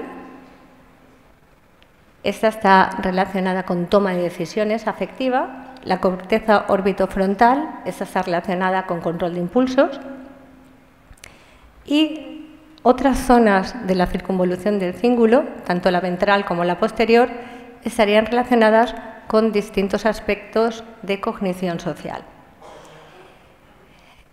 Y yo hablaría más, pero no lo voy a hacer. Voy a dar paso al resto de ponentes. Gracias. Sonia, muchísimas gracias. ¿eh? pero no, no, no, no, al revés. Además, yo creo que te vamos a invitar para hacer una conferencia completa porque será súper interesante, ¿eh, Sonia? bueno. Bueno, pues a continuación nuestra compañera Lorena. El tema de los contextos me pareció súper interesante, depende de los contextos. Buenas tardes a todos. Es un placer estar aquí con todos vosotros y quería agradecer al Colegio Oficial de Psicólogos y a la asociación eh, pues el que promueva iniciativas de una forma eh, accesible para, todos. Eh, yo voy a hablar un poco de lo que es la intervención en el TDAH desde una perspectiva, que es la de mi campo profesional, que es el de la neuropsicología, tratando de integrar todos los modelos de intervención que tienen una eficacia científica demostrada.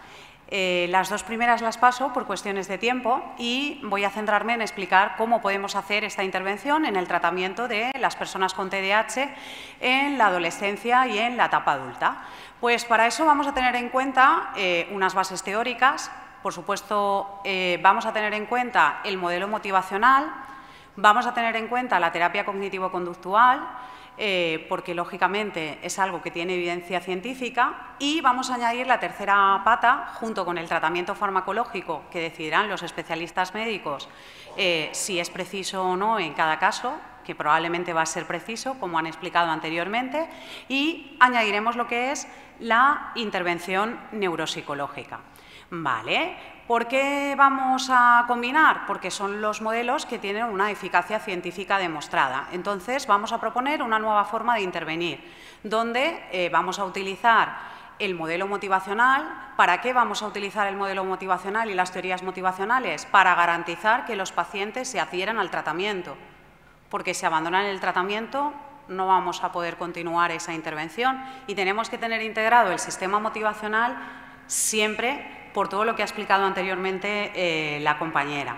¿no? Además, vamos a tener en cuenta ese perfil de funcionamiento cognitivo, emocional, conductual y social que, cuyo mapa establecemos los neuropsicólogos, que somos los especialistas en esto, y vamos a añadir todas las técnicas de intervención cognitivo-conductual, pero las vamos a adaptar al perfil cognitivo de ese adolescente o de ese adulto que tiene TDAH, porque van a necesitar adaptación de esas técnicas para poder aprenderlas y poder generalizarlas en su eh, contexto natural. Entonces, tenemos en cuenta estos modelos motivacionales y vamos a tener en cuenta tres teorías. La teoría del desarrollo dinámico, la teoría del déficit en la transferencia de dopamina y la hipótesis de la aversión a la demora. ¿Y por qué los vamos a tener en cuenta? Porque sabemos que el TDAH tiene una baja activación del sistema dopaminérgico y tenemos que tenerlo en cuenta si queremos conseguir resultados eficaces en nuestra intervención. Si no tenemos en cuenta esto y no tenemos en cuenta la motivación del paciente y esta baja activación del sistema, no vamos a conseguir la adherencia terapéutica ni al tratamiento farmacológico ni a todas las técnicas de intervención. Entonces, lo primero que tiene que tomar en cuenta y cuando hacemos intervención, el primer paso es que el paciente y su familia conozca lo que es el TDAH y lo que se implica y le implica en su día a día. Y para eso vamos a trabajar la psicoeducación, que además nos va a permitir que haya adherencia a un tratamiento, como hemos explicado, multimodal. Para eso, ¿cómo lo vamos a hacer? Pues lo primero que el paciente tome conciencia de las dificultades que a él implica el TDAH en su día a día y la familia que le acompaña. Lo vamos a hacer desde eh, un modelo, no tanto el modelo médico tradicional, sino de un modelo de colaboración para garantizar que el paciente decide y eh, mm, toma parte en el proceso de toma de decisiones. ¿Qué quiero conseguir y cómo lo voy a conseguir? Vamos a abandonar el modelo médico tradicional de usted tiene que hacer esto y vamos, vale, ¿qué dificultades tienes?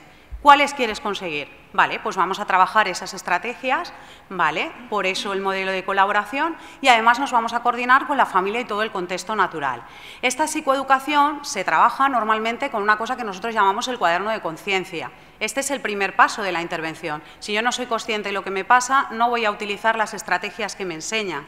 Y esto es algo básico y fundamental. ¿Y quién cumplimenta este cuaderno de conciencia? Pues lo, lo cumplimenta el propio paciente haciendo tareas de intervención y lo cumplimenta la familia y se pone en común. Hasta que el paciente no es consciente de todas las dificultades y de lo que conlleva, no empezamos a trabajar todo lo que es la intervención porque no va a ser eficaz. Si yo no sé por qué me tengo que tomar la medicación, no me la voy a tomar. Si yo no sé por qué tengo que pararme a pensar, pues probablemente eh, voy a actuar. Vamos a hacerlo desde el modelo de colaboración. ¿Por qué? Porque pensamos que es la única forma de garantizar la adherencia al tratamiento por ese bajo sistema dopaminérgico. Vamos a hacer que el adolescente o el adulto, acompañado de su familia, decidan y tomen decisiones respecto al tratamiento multimodal. Y además esto va a incrementar la adherencia al tratamiento y que el paciente y su familia tienen una sensación de control interno y no que el control de mi mejora la tiene el profesional, sino que el control de mi mejora lo tenemos nosotros con la ayuda de los especialistas. Este modelo va a permitir más adherencia al tratamiento y menor probabilidad de que abandonen el tratamiento multimodal en el TDAH. ¿Qué papel tiene la familia en las personas con TDAH y en la intervención? La familia va a ser el referente de esa persona, sea un adolescente o sea un adulto. Vamos a dar la palabra a ese adolescente o a ese adulto para que explique sus dificultades y vamos a integrar todos los recursos de forma global, teniendo en cuenta el perfil cognitivo. Vamos a pasar de la hetero regulación, es decir, le ayudamos a regularse para que llegue un momento en el que no necesite esas autoinstrucciones o estrategias para poder regularse porque ya ha conseguido la eh, autorregulación. Vamos a facilitar y buscar cuáles son esos intereses de nuestro adulto o de nuestro adolescente y orientarlo hacia aquello que le gusta y le interesa por esa hiperintensidad en las cosas que les gustan, y, por supuesto, la familia tiene que aportar normas y límites claros y asumir eh, y aceptar a, nuestra eh, familiar con, TDAH. ¿Por qué damos tanta importancia a la psicoeducación y a esto, y a esto del cuaderno de la conciencia? Porque si esto no se consigue, no va a haber una adherencia al tratamiento y no vamos a conseguir resultados ni mejoras en los síntomas de las personas con TDAH. La psicoeducación es algo necesario y se tiene que acompañar de la terapia cognitivo-conductual y eh, de técnicas de comunicación asertiva. Tengo que tener en cuenta que la psicoeducación no va a ser eficaz si la familia del paciente tiene algún tipo de patología psiquiátrica, que es en ese caso cuando no vamos a poder aplicar este proceso. Y si no se trabaja, en el resto de los casos, pues va a disminuir la probabilidad de que el paciente y la familia cumplan todo el tratamiento multimodal. ¿no? Eh, la terapia cognitivo-conductual a día de hoy se considera que es la intervención psicológica más eficaz para el TDAH, se basa en modificación de conducta, autoinstrucciones, técnicas de autocontrol, el entrenamiento en las habilidades sociales y en las técnicas de resolución de problemas. Pero hay dos cosas que hay que tener en cuenta cuando aplicamos técnicas de terapia cognitivo-conductual, que las personas con TDAH tienen dificultad para dirigir las conductas en base a reglas y eh, les cuesta visualizar especialmente las consecuencias y esto a la hora de aplicar las técnicas es algo que tenemos que tener en cuenta y que reaccionan menos a los reforzadores. No ven el a largo plazo, solo ven el a corto plazo y el a largo plazo hay que explicitárselo habitualmente y constantemente porque ellos no hacen esa previsión. Poco a poco, con entrenamiento, podremos ir cambiando esto. Con estas técnicas de terapia cognitivo-conductual, junto con ese modelo de psicoeducación y ya tenemos la conciencia del paciente, empezamos con lo que es la intervención neuropsicológica. Siempre todo esto se va a acompañar del tratamiento farmacológico.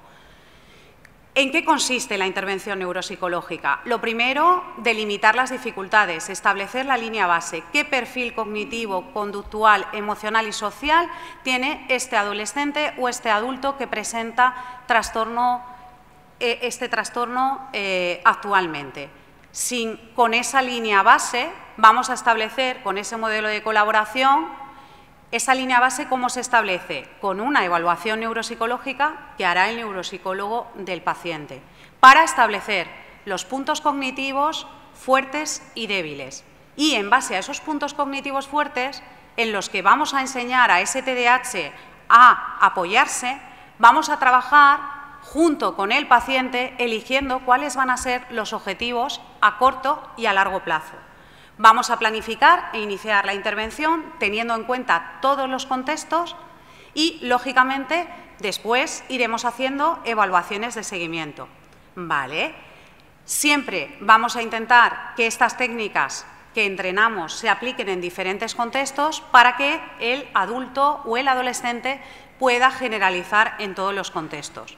Esta intervención lo ideal es que sea mixta, quiero decir que en un primer momento se trabaje de forma individual y en un segundo momento en grupos reducidos, ¿vale? Teniendo en cuenta, como hemos dicho, los aspectos cognitivos, los sociales, los emocionales y los conductuales.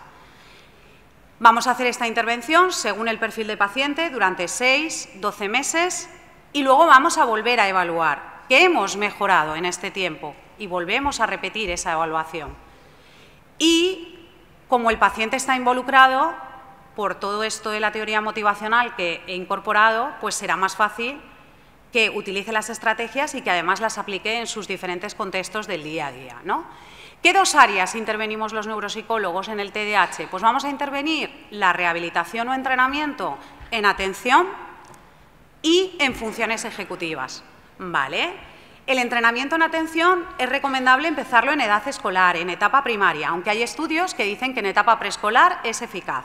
¿Vale? Esto se tiene que hacer al menos dos veces a la semana, durante 30 minutos, y eh, nos vamos a implementar en dos técnicas, que son el APT y el TPM.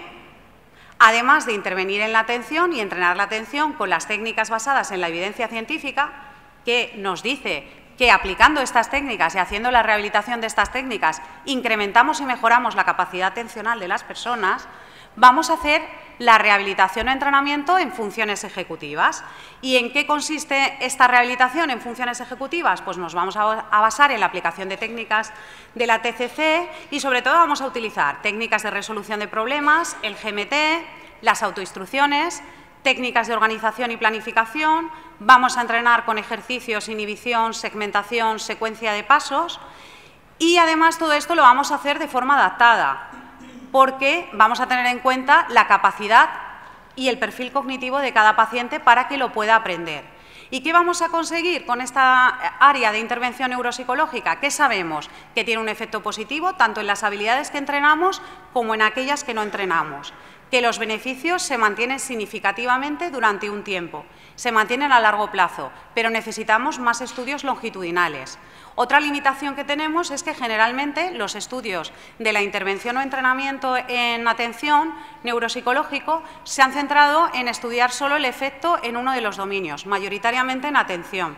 Necesitamos que los estudios incorporen el entrenamiento en los dos dominios, en atención y en funciones ejecutivas. Y para que esta rehabilitación y este entrenamiento en atención y funciones ejecutivas sea eficaz, vamos a intentar aplicarlo en al menos dos contextos para que puedan generalizar. Y de ahí sale un modelo de intervención. Un modelo de intervención global incluyendo todo esto. En un primer momento hacemos la evaluación neuropsicológica que se completa junto con la evaluación del neurólogo, el psiquiatra, neuropediatra o psiquiatra infantil según la edad del paciente. Establecemos la línea base. Después trabajamos esa conciencia del déficit y la psicoeducación al paciente y su familia. Si yo no sé lo que me pasa, no me voy a adherir al tratamiento. Vamos a tener en cuenta ese modelo motivacional, vamos a permitir que los pacientes y las familias decidan sobre ese proceso y los objetivos que quieren conseguir. Vamos a utilizar técnicas de terapia cognitivo-conductual, porque tienen eficacia científica, pero las vamos a adaptar, porque somos neuropsicólogos, al perfil del paciente. Las técnicas de eh, terapia cognitivo-conductual son útiles, pero el TDAH tiene problemas de atención y funciones ejecutivas. Hay que adaptarlas para que ellos las puedan aprender y las puedan implementar, y eso lo hacemos los neuropsicólogos. Aparte, vamos a hacer el entrenamiento en atención y en funciones ejecutivas adaptado al contexto natural y todo esto se va a acompañar del tratamiento farmacológico eh, que prescribe el neurólogo o eh, el psiquiatra en el caso de adultos o neuropediatra o psiquiatra infantil en el caso de infancia y adolescencia. ¿Qué podemos concluir con todo esto? Pues que la intervención en el trastorno por déficit de atención e hiperactividad en la etapa adulta y en la adolescencia requiere que tengamos en cuenta la terapia cognitivo-conductual, la intervención neuropsicológica, los modelos motivacionales junto con el tratamiento farmacológico que este uso integrado de los tres modelos en la intervención nos va a facilitar la adherencia al tratamiento y la generalización en el contexto natural, tenemos un nuevo modelo de intervención y lo que necesitamos son estudios científicos que empiecen a medir la eficacia del uso de este modelo, que combina pues, eh, todas las técnicas que he explicado eh, anteriormente. Muchas gracias por vuestra atención.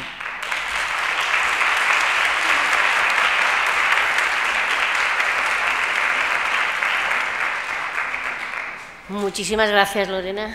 Muchas. A Pepa va a actuar. La verdad es que están haciendo un esfuerzo tremendo de, resumen, súper interesante todo, que además que complementa toda la jornada, que ha sido también muy interesante. Y ahora a continuación nuestra compañera Pepa.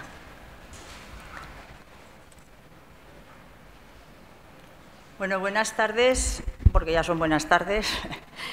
Yo, como no puede ser de otra manera, agradecer la, invitación a participar en las jornadas. Lo único que lamento es que me gustaría contar con Laia y su madre y su profesor, porque ellos can y bailan.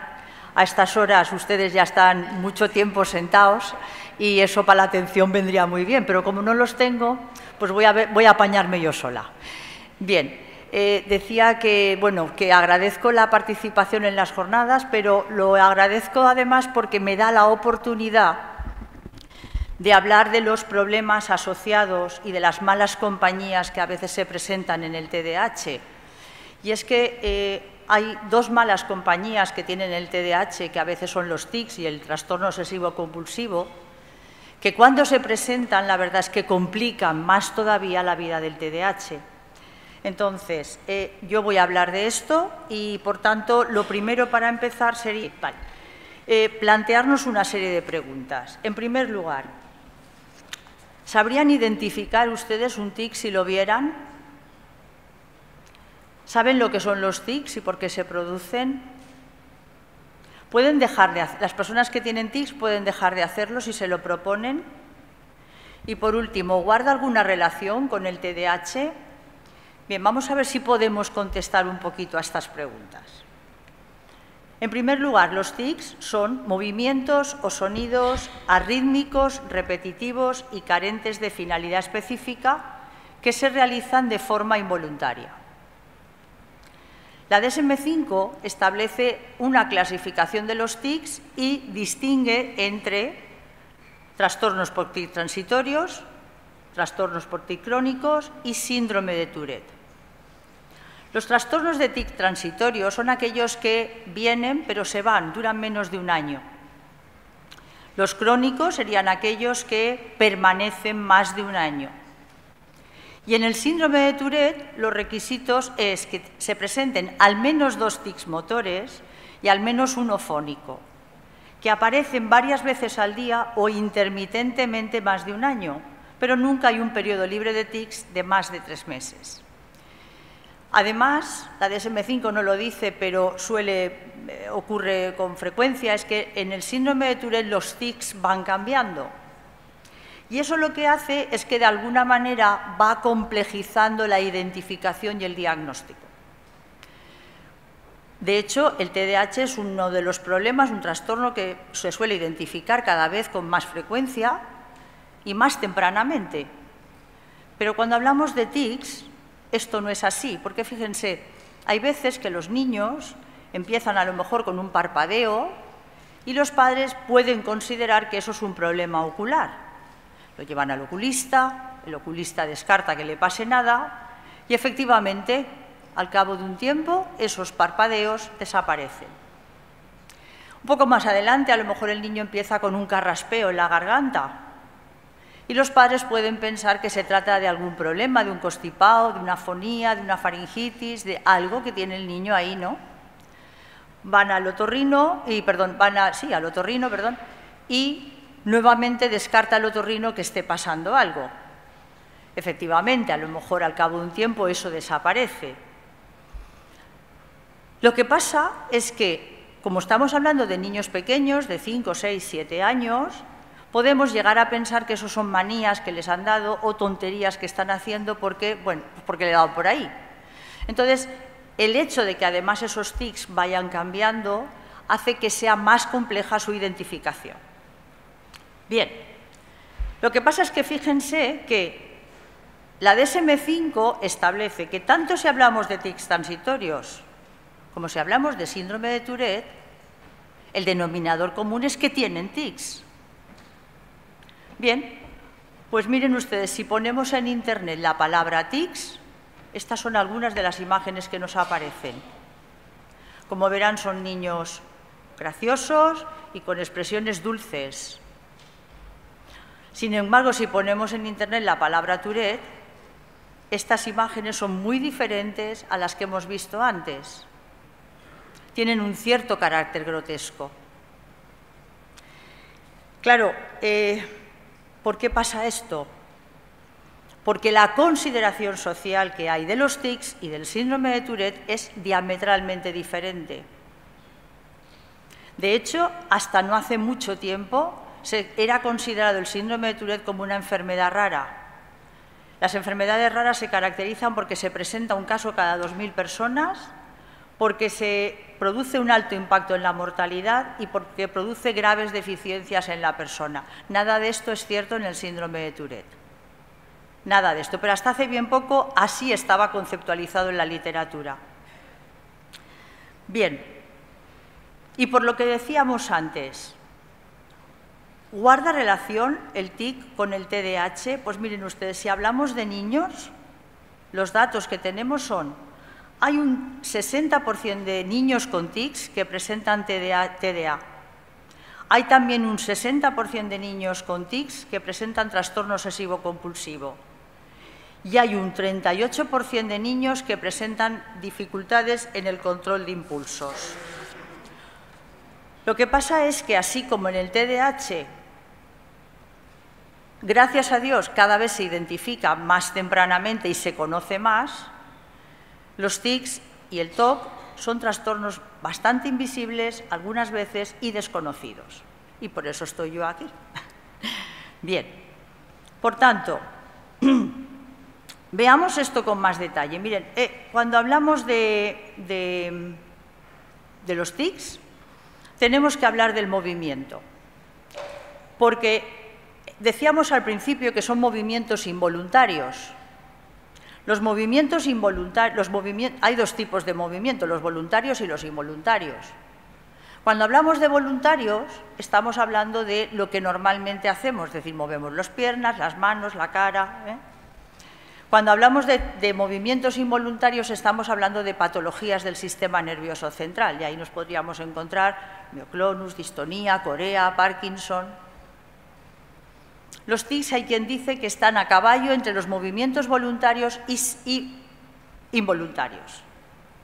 Lo que es evidente es que la persona no los hace porque quiere, por tanto no son movimientos voluntarios. Pero parece ser que en el caso de los tics la persona que los tiene puede llegar a suprimirlos, al menos temporalmente.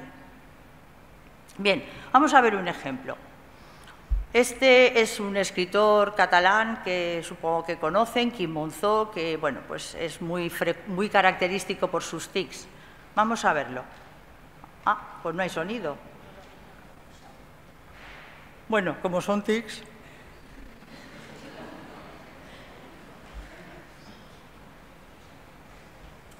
Lo que diga no es importante.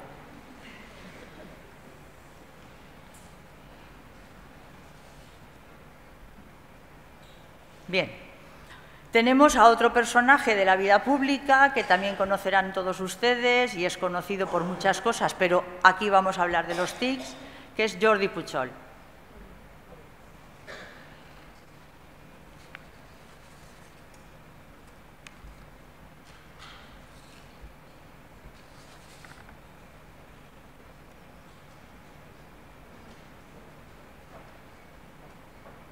Bien, como verán, ambos dos tienen el mismo tic y además lo tienen igual de frecuentemente, es decir, continuamente. Bien, pues en un artículo escribió eh, Kim Monzó hace un tiempo, eh, escribió un artículo refiriéndose al hijo de Jordi Puchol, que se llama Jordi Puchol y Ferrusola. Y esto es lo que decía. Monzó explica que es un tipo curioso este Jordi Puchol y Ferrusola, es decir, el hijo. A finales de los 80, cuando me pasaba las noches en el bar más y más, Coincidí con él un par de veces. Yo tenía entonces treinta y pico años y a lo largo de la vida nunca nadie se había metido con mis tics. El primero que lo hizo fue Puchol y Ferrusola. Y no una vez, sino las dos que coincidimos. Estaba obcecado el hombre.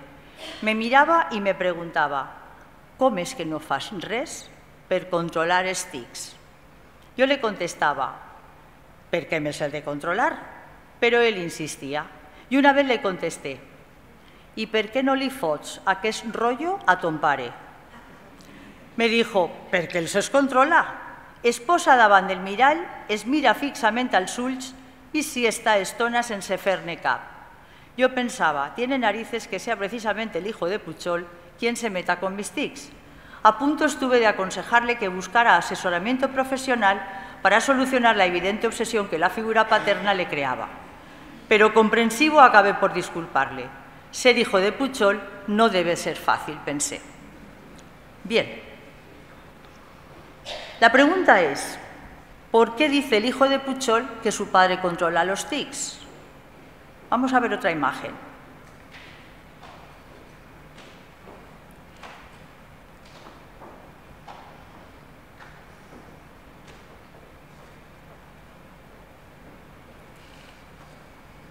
Bien, eh, como verán, uy, no puedo tirar para atrás. Vale, como verán, no, no tiene tics en este momento. Lo que no sabemos es que si ha controlado, como decía su hijo, o es que en este momento no tenía tics, porque una de las cosas que hemos visto en la definición de la DSM-5 es que los tics pueden ir y venir. Puede haber un periodo de, tics eh, muy eh, explosivo, pero también puede haber un periodo libre de tics. ¿vale? Bien, por tanto, no sabemos si es que lo controla o en este momento no los tiene. Pero fíjense que estos tics son fácilmente identificables, pero hay otros tics que son más complejos y que no recuerdan o que no pueden o que en principio parecen que no lo sean. Si yo les dijera hablando de niños que a lo mejor pegar saltitos podría ser un tic, podría ser. ¿Y si habláramos de tocar los genitales? ¿Podría ser un tic? ¿O repetir las propias palabras? ¿Eso quiere decir que cuando esto lo veamos esa persona tiene tic? No. Eso quiere decir que en las personas que tienen tics, en los niños, adolescentes y tal, sí que podríamos pensar que determinadas conductas que no puede remediar y que obedecen a determinada situación podría ser un tic. Pero ahí lo dejo, ¿vale? Bien, dicho eso, hablaríamos un poquito del trastorno obsesivo-compulsivo. Y en el trastorno obsesivo-compulsivo, uno de los, bueno, algunos de los indicios podrían, voy muy deprisa, claro, evidentemente, pero bueno, algunos de los indicios podrían ser que tuviera conductas repetitivas porque hace las mismas cosas una y otra vez, que la interrupción de la rutina le crea ansiedad y hostilidad, que dedica más tiempo de lo normal a tareas sencillas, que hay un retraso permanente, una excesiva preocupación por nimiedades y detalles, reacciones emocionales extremas ante cosas sin importancia, considerar la vida como una lucha y conductas de evitación. Vamos a ver algún ejemplo. Miren, eh, ¿qué sería un TOC? Pues un chico de 14 años, por ejemplo, que llega tarde al colegio todos los días porque no puede salir de la ducha hasta que no se haya enjabonado exactamente 41 veces. No sería un TOC una niña de 16 años que todos los días pasa 20 minutos lavándose y peinándose el pelo antes de ir a clase. Sería un TOC un chico que comprueba una y otra vez que el interruptor de la luz está en posición de apagado, aunque sea evidente que la luz está apagada. Y no sería un TOC un chico que comprueba dos veces que la luz está apagada cuando sale de una habitación. Bien, eh, el tema es que, de alguna manera, eh, estos problemas cuando se presentan vienen a hacer más compleja la vida de quien los tiene y, sobre todo, si eso también resulta ser una persona con TDAH. Ahí nos podemos encontrar con, eh, obsesiones de contaminación, de orden y simetría, de repetición. Pero miren, cuando yo explicaba esto hace muchos años, había gente que me decía, pero Pepa, esta gente entonces está loca, ¿no? Bueno, nada más lejos de la realidad. Y entonces empecé un poco a poner esta imagen, porque estos personajes han reconocido públicamente que tienen TOC. Y por supuesto, cuando los vemos nadie pensamos que están locos, ¿no? Miren ustedes, estos tres niños tienen tres problemas muy visibles. Uno tiene un problema físico, motor, otra niña tiene un problema sensorial porque lleva audífonos y la otra niña es diabética. Todo el mundo sabemos lo que podemos pedirles a estos niños. Sabemos cuáles son sus dificultades, lo que pueden hacer y lo que no pueden hacer. En cambio, estos niños tienen TDAH, TIC y TOC, pero no se ve. Y lo primero que pasa es que son castigados por sus síntomas y lo segundo que pasa es que no sabemos, lo que, les decimos que se estén quietos, que se porten bien, que estén atentos, que no hagan tonterías. Este niño es zurdo. Hace 50 años ser zurdo era un problema. Mi hermana es zurda y la reeducaron. La convirtieron en diestra porque entonces no estaba bien visto ser zurdo. Hoy en día solo tenemos superado. Tenemos unas sillas para los zurdos que hemos arreglado el problema fácilmente. Bien, pues miren ustedes, estos dos personajes, uno tiene TOC y Dana Croy es síndrome de Tourette. Ojalá algún día cuando pongamos en internet la palabra TIC, la palabra TOC, la palabra Tourette, nos aparezcan estas imágenes de éxito social y de consideración.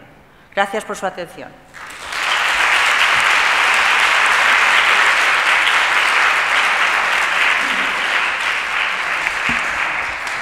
Bueno, pues muchísimas gracias, Pepa, que ha hablado de la comorbilidad con el TDA, de otro tipo de trastornos. Y ahora, eh, antes de dar plazo, si queréis cinco minutos, algunas, algunas preguntas en cinco minutos. ¿Alguien quiere participar?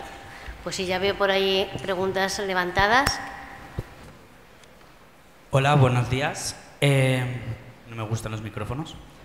En primer lugar, quiero agradecer que haya representación dentro de la figura de la orientación y la psicología educativa, eh, sin quitar importancia a la parte de la psicología clínica, la neuropsicología o la parte médica, que normalmente cogen un mayor protagonismo y que en espacios donde las alteraciones del neurodesarrollo, la psicología educativa también tiene como una gran relevancia. Sin embargo, mi pregunta no va directamente hacia las TICs y los TOCs y el TOC, eh, pero sí creo que es importante que, o sea, creo que, que mi pregunta está asociada a la intervención educativa para este tipo de población y va en torno a eso. Eh, teniendo en cuenta el contexto y lo que han comentado los compañeros y muchos profesionales que han pasado por aquí sobre la intervención dual, hay que tener el contexto de que muchas familias y muchos alumnos y muchos menores eh, no se pueden permitir esa intervención dual, ya sea por una falta de socioeconomía, una socioeconomía baja, donde la importancia que se le da eh, a la economía, al poder comer, le resta importancia a otras cosas, como puede ser una alteración del neurodesarrollo, por el desconocimiento o por cualquier otra cuestión, eh, no pueden acudir a intervenciones privadas. Luego, por la pública igual, los tiempos de espera o los tiempos de demora no son los ideales. Y entonces nos quedamos con alumnado que acaban asistiendo a centros educativos sin ningún tipo de intervención, generalmente solo médica y a veces ni eso. Y la pregunta es, ¿qué se puede hacer como profesional educativo, ya sea desde la psicología, desde la orientación o combinada, eh, con este tipo de alumnado para poder eh, reducir esos riesgos de abandono escolar y para poder eh, aumentar esa motivación, teniendo en cuenta que los contextos escolares actuales, por lo menos en la mayoría de, de la población española, la educación que se ejerce carece de sinsentido, no se genera un sentido, no se hace una generalización del aprendizaje y por tanto ese factor motivacional del alumno también es muy bajo y muy, y muy pequeño. Gracias. Bueno, yo, como soy la representante educativa, a ver, ¿qué se puede hacer? Depende de qué, quiero decir. Hay muchísimas cosas que hacer, pero yo creo que hay que establecer una diferencia entre el TDAH y el TIC y el TOC. ¿eh? Así como, gracias a Dios, el TDAH es un trastorno conocido, que se identifica, que se diagnostica cada vez más tempranamente y que sí que hay todo un, un protocolo de intervención en el TIC y en el TOC son trastornos muy desconocidos y es difícil identificarlos hoy por hoy. ¿eh? Hay muy poca eh, sensibilización y formación ante el tema. Eh, yo creo que sí que es verdad que yo voy a hablar por, por el TDAH también, pero el de TDAH sí que es una cosa que yo creo que cada vez sabemos más cómo intervenir ante ello en los centros educativos. Otra cosa es que aún falte mucho por hacer, por supuesto. Pero yo creo que sí que es una cosa que está cada vez más difundida y que además los profesores cada, vez lo dicen más. No será un TDAH, este, este es un TDAH. Ya diagnostican incluso a ojo, ¿no? Entonces, eso tiene sus desventajas, pero también tiene la ventaja de que en el momento en que tenemos una hipótesis en la cabeza podemos confirmar o refutar, y eso también es positivo. Eh, con el resto de trastornos que estamos diciendo de las malas compañías queda mucho trabajo por hacer, porque los niños con síndrome de Tourette a veces lo pasan mal. Ten en cuenta que en un momento determinado estamos hablando de la asociación de tres trastornos juntos. Entonces yo he visto niños, por ejemplo, pues desde los cuatro años que, a lo mejor no almuerzan porque alguien ha tocado su almuerzo, ¿no? Y eso es un sufrimiento importante. Claro, el tema es que cuando un niño no almuerza porque alguien ha tocado su almuerzo, identificarlo es muy complicado. Hay muy poco conocimiento al respecto y a lo mejor es un niño que está desarrollando ya conductas obsesivo-compulsivas. Hay muy poca intervención y porque hay muy poca formación en este ámbito. Por eso a mí me parece que hay que visibilizarlo, ¿no? ¿Te he contestado? Bueno. Eh, el cómo intervenir un TDAH o un TIC, un TOC es diferente. O sea, si la pregunta es amplia, pero bueno, básicamente, Sí, básicamente, hablando de TDAH, tenemos que buscar todas las adaptaciones que el niño conlleva a nivel atencional, todo, lo que hacemos a la hora de adaptarle exámenes, de colocarle en lugares de la clase que sean eh, donde se propicie la atención, eh, buscar, por ejemplo, cuáles son las estrategias de aprendizaje que más le benefician, necesitan órdenes cortas, frecuentes, eso, por ejemplo, a grandes rasgos. En el tema de los TICs muchas veces es no reñirle por, esas cosas que está haciendo cuando estamos entendiendo que se trata de un TIC. El problema viene que cuando un niño se está, creemos que se está portando mal porque es su propia voluntad, que es lo, único que, es lo mismo que pasa con el TDAH, decimos no hagas tonterías y a lo mejor resulta que no lo puede remediar. Muy, muy brevemente, pero por aquí van los tiros. Bueno, por dar un, mensaje mm, de qué podemos hacer, lo primero, la psicoeducación a los profesores, pues a lo mejor en los contextos educativos el Departamento de Orientación debería dedicar sesiones para eh, psicoeducar a los profesores en el TDAH o en cualquier otro tipo de trastorno de aprendizaje. Yo creo que a día de hoy están claras las medidas de adaptación, Simplemente creo que los profesores necesitáis ese trabajo de psicoeducación donde el orientador eh, o el psicólogo o el pedagogo del, centro escolar os explique todas y cada una de las medidas. Y respecto al tema de la motivación, eh, una vez que se ha hecho esa psicoeducación, si el profesor entiende que un niño con TDAH o una persona con TDAH no puede prestar atención toda, toda la hora, algo que suele funcionar bastante bien es establecer pues un tiempo, ¿no? Acordar contratos de, bueno, hoy necesito que en esta clase trabajes 15 minutos y a partir de ahí una recompensa inmediata para tener en cuenta la motivación del niño. Y poco a poco ir incrementando la dificultad y los tiempos. Son estrategias que suelen dar bastante eh, buen, buen resultado. No sé si ahora a lo mejor te hemos podido contestar un poquito más operativo eh, eh, en el día a día. Gracias. ¿Alguna más? Por allí. Mientras que le pasa el micrófono, le digo al compañero que yo estoy dentro del ámbito educativo y la formación del profesorado cada vez es más amplia y mejor en todas eh, las problemáticas que pueden tener el alumnado, ¿eh? que hay mucha formación del profesorado. ¿eh? Y que los orientadores, claro, nosotros abogamos que el orientador educativo debe ser psicoeducativo. Eh, no sé muy bien cómo plantear lo que quiero plantear, pero la idea es un poco, estamos viendo con lo de TICS, TOCS, TDAH, trastorno eh, espectro autista, todos estos perfiles neuroatípicos, ¿no? y pretendiendo que el perfil neurotípico es como lo normal y todas estas, se habla mucho desde la medicalización, ¿no? en este caso del TDAH, y bueno, pues como todo, ¿no? Es un espectro, pero se insiste mucho en medicalizar y tal, que entiendo que funcionará para que la gente se adapte mejor a su contexto y funcione mejor en el trabajo y en sus relaciones sociales. Todo eso está muy bien. Pero se me plantea un poco la cuestión de hasta qué punto estamos enfocando todo esto desde, bueno, desde lo neurotípico, ¿no? Como todo lo que se sale de aquí no, encaja bien en la sociedad, intentamos meterlo ahí, evidentemente tienen trastornos comórbidos porque, joder, estás deprimido, estás ansioso porque no encajas, tus relaciones no funcionan, todo esto pasa por ahí. Entonces, entendiendo que, ¿no? Agradezco mucho la presencia de gente experta en estos temas y habéis hablado muy bien y es muy elocuente todo, todo lo que habéis dicho, pero tengo la curiosidad de cómo lo veis vosotras, eh, si existen métodos de categorización que pasen más allá de esto de trastorno del neurodesarrollo ¿no? y se entienda más como una cuestión identitaria, más que una medicalización ¿no? de la existencia humana en un contexto que no está hecho para estas personas. ¿no? Entonces, bueno, pues es un poco esta idea plantearla. Vale. Eh, gracias por poner el foco ahí. Eh, efectivamente, este es un mundo hecho por un tipo muy concreto de neurotípico, pero un tipo muy concreto que potencia determinadas o en las que tiene potencias determinadas funciones ejecutivas, determinado pensamiento lineal, habilidades de lenguaje o matemáticas. Un mundo de ese tipo de neurotípicos en que además eh, favorecen y premian los resultados y los resultados a largo plazo, pensar en términos de productividad y además si es productividad económica, mejor que mejor. Entonces, en este mundo en el que priman, que está hecho por determinado tipo de personas con determinado tipo de cerebros, incluso gran parte de la neurodiversidad no encajaría sin entrar en un desarrollo atípico. Estoy de acuerdo contigo en que muchas veces cuando hablamos de trastorno se confunde con enfermedad.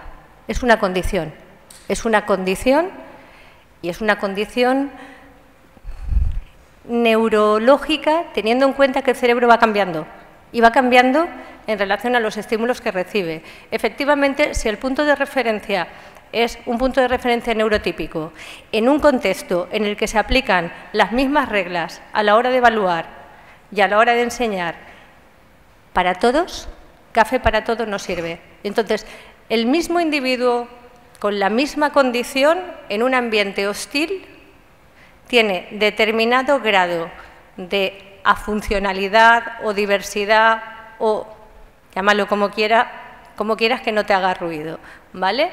Y en un ambiente inclusivo es más funcional, puede aprender desde su manera de aprender, entonces el contexto es fundamental. Y como condición, en el caso, por ejemplo, del autismo, cada vez la población autista activista tiene más claro que es una identidad.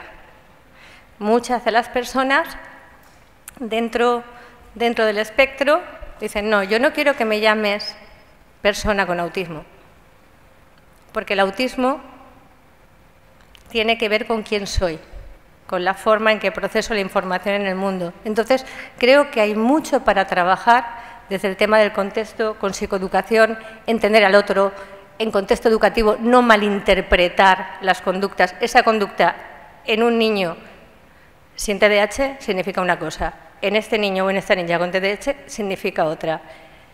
Una, una buena comprensión me lleva a una buena aceptación y una buena aceptación es valorar al otro desde donde aprende, desde donde procesa la información, desde donde funciona, ayudándole a que alcance el máximo de su potencial desde él o desde ella. No sé si con eso contesto. ¿Mm? Muchas gracias. La última. No se oye. ¿Sí? Bueno, ante todo, muchísimas gracias ¿no? y por las horas y por vuestro esfuerzo. Un placer escucharos, pero la pregunta va a Sonia, va, a ti. Eh, un placer escucharte siempre, Sonia, desde la carrera. Pero la parte de la empatía que has tocado en TDAH sí que me interesa, porque con niños más pequeños eh, me gustaría tenerlo claro de cara a explicarle a los padres de la mejor manera y que ellos lo entiendan, porque afecta mucho a nivel social. ¿vale? Cuando quieren ser amiguitos, pero a la vez, a la hora de relacionarse, pegan, empujan. Me es la parte de la integración sensorial también, ¿no? Creo que tiene también ahí un punto ¿no? importante del control de su cuerpo, pero la parte de la empatía me la podrías... Es que se me ha quedado cuando lo estabas explicando un poquito. Vale, sí, vamos a ver. Si yo digo empatía, empatía ya pues, está en la calle y cuando digo, mm, ¿qué es para vosotros empatía? Entonces, la respuesta más habitual de la gente es ponerme en la piel del otro. Pero claro, la empatía no funciona por compartimentos, pero hablar de, distintos compartimentos puede ayudar. ¿vale? Entonces, hay un aspecto que es puramente cognitivo y es que yo, en función de tu lenguaje no verbal, me hago una idea de lo que esperas de mí, de qué motivación tienes y a partir de ahí yo decido si ajusto mi conducta o no ajusto mi conducta. Ese es el control ejecutivo del que hablábamos antes. Pero claro, sí, eh, me es fácil poner atención en lo que me motiva, o me es más fácil, pero mi forma de funcionar es que de repente es, uy, ese pelo, y no sé quién tose y me voy a la tos, lo mismo no soy tan buena leyendo el lenguaje no verbal del otro, o soy muy buena leyéndolo a veces si, son, si está enfadado o detecto el tono. Entonces, claro, si la parte cognitiva, cognitiva baila por las propias características, pues claro, hay veces que no me doy cuenta cómo está cayendo mi conducta en el otro. Y si llego al tema de pegar, es porque es que me interesas mucho, es que yo quiero ser tu amigo y lo quiero y lo quiero ya, lo que hablábamos antes del refuerzo mega inmediato. Cuando estamos en temas de psicoeducación, no solo a, a la familia, sino a la persona con el diagnóstico, y entiende cómo está viviendo su conducta el otro, ahí tenemos que tener mucho cuidado porque puede aparecer culpa. Una cosa es responsabilidad afectiva, otra cosa es culpa. Y entonces llegan a, yo no quería, me siento fatal, pero una vez entiende cómo ha caído, tiene esa resonancia afectiva. Y al tener resonancia afectiva quiere hacer distinto. Entonces, la forma de explicarlo es, la impulsividad hace que no vea, sí se para, entiende. Y si entiende, es capaz de conmoverse con lo que le está pasando al otro. No sé si por ahí...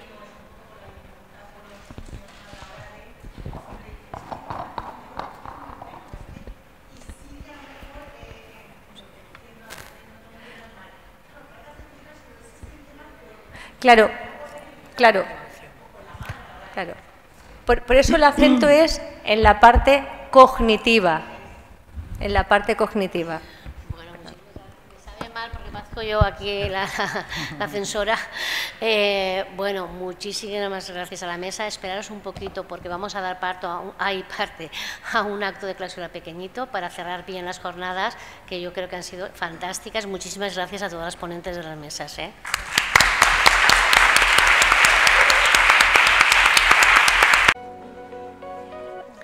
Bueno, pues rápidamente vamos ya a dar eh, paso al acto de clausura. Aquí tenemos a Ana María Pellicer Clement, que es directora de la Unidad de Especialización de Orientación e Inclusión Educativa UEO de DENIA de la Llena Valenciana, que bueno, que conocéis a Elena Podio eh, García, que es la presidenta de la Asociación TDAC más 16 Valencia, que ha hecho posible estas jornadas conjuntamente con el Colegio de Psicología de Valencia. Cuando quieras, Ana. Bueno, buenas tardes. Eh, en primer lugar, agradecer la invitación al Colegio Oficial de Psicólogos y a la Asociación TDH más 16. En especial, de manera más especial, quería agradecer a la Asociación TDH más 16 de Denia también, porque siempre cuenta con nosotras y nos brinda su apoyo. Es un placer para la unidad, que está ubicada en Denia, realizar cualquier colaboración con ellas.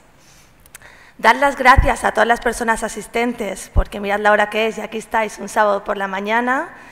Y también la verdad es que me ha parecido una jornada muy, muy bonita. Creo que felicito a todos los ponentes porque habéis eh, acercado mucho conocimiento científico y creo que es muy importante.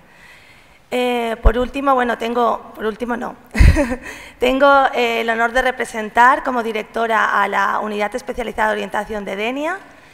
Eh, somos un equipo multidisciplinar, contamos con trabajadoras sociales, con educadoras sociales, terapeuta ocupacional y profesionales del ámbito del TDAH y de las dificultades específicas del aprendizaje.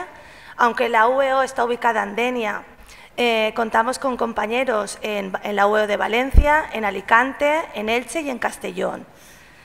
Eh, en segundo lugar, creo que es muy importante remarcar el que se organicen este tipo de jornadas científicas y así como la importancia de que todos los agentes e instituciones hagamos divulgación de todo este conocimiento eh, para beneficio tanto de todos los niños, de adolescentes y de adultos.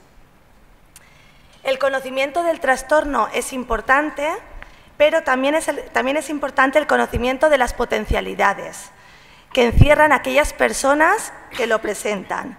Muestra de ello ha sido la obra de Laila, en el que se ve claramente la motivación y el talento hacia el flamenco. También me, gustaría remarcar la importancia del trabajo en equipo y la coordinación como ejes fundamentales para el abordaje del TDAH. Nosotras, desde la Unidad Especializada de Orientación, somos conscientes que ese abordaje tiene que ser tanto educativo como familiar y social, y contando siempre con la colaboración y coordinación de los servicios sanitarios. No me quiero extender mucho más, pero sí antes de terminar me gustaría ejemplificar con una parábola extraída del libro de Katie Snow, una de las funciones que consideramos más importantes desde la UEO, que es el cambio de mirada hacia el trastorno y la eliminación de las barreras del contexto. Barry es una persona vidente que con afán de viajar visita un día una ciudad denominada el País de los Ciegos. En la misma, tras un largo paseo y estando hambriento y cansado, decide entrar en un restaurante. Para su sorpresa, cuando llega el camarero con la carta, Barry se siente incómodo. La carta está en braille, le dice al camarero, a lo que el camarero contesta, aquí leemos este código, pero no te preocupes, ahora le haremos una adaptación y le trae una carta con pictogramas. Al poco tiempo empieza a oscurecer. Barry no puede ver y pide que enciendan la luz. A lo que el camarero responde, aquí no nos hace falta la luz, estamos acostumbrados a movernos en la oscuridad.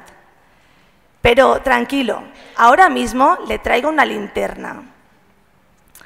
Y ahí está el pobre Barry con su carta pictografiada, intentando alumbrar con una pequeña linterna para eh, decidir qué va a cenar. En este contexto, me gustaría que pensáramos quién es la persona que presenta dificultades. Creo que todos hemos pensado lo mismo, que es Barry, que se encuentra en un contexto que no se adapta a sus características y, por tanto, presenta dificultades.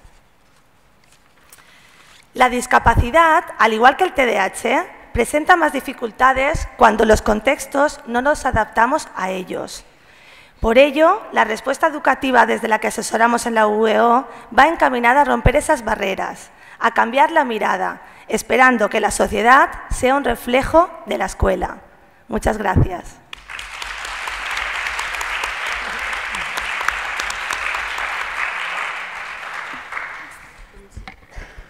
Hola.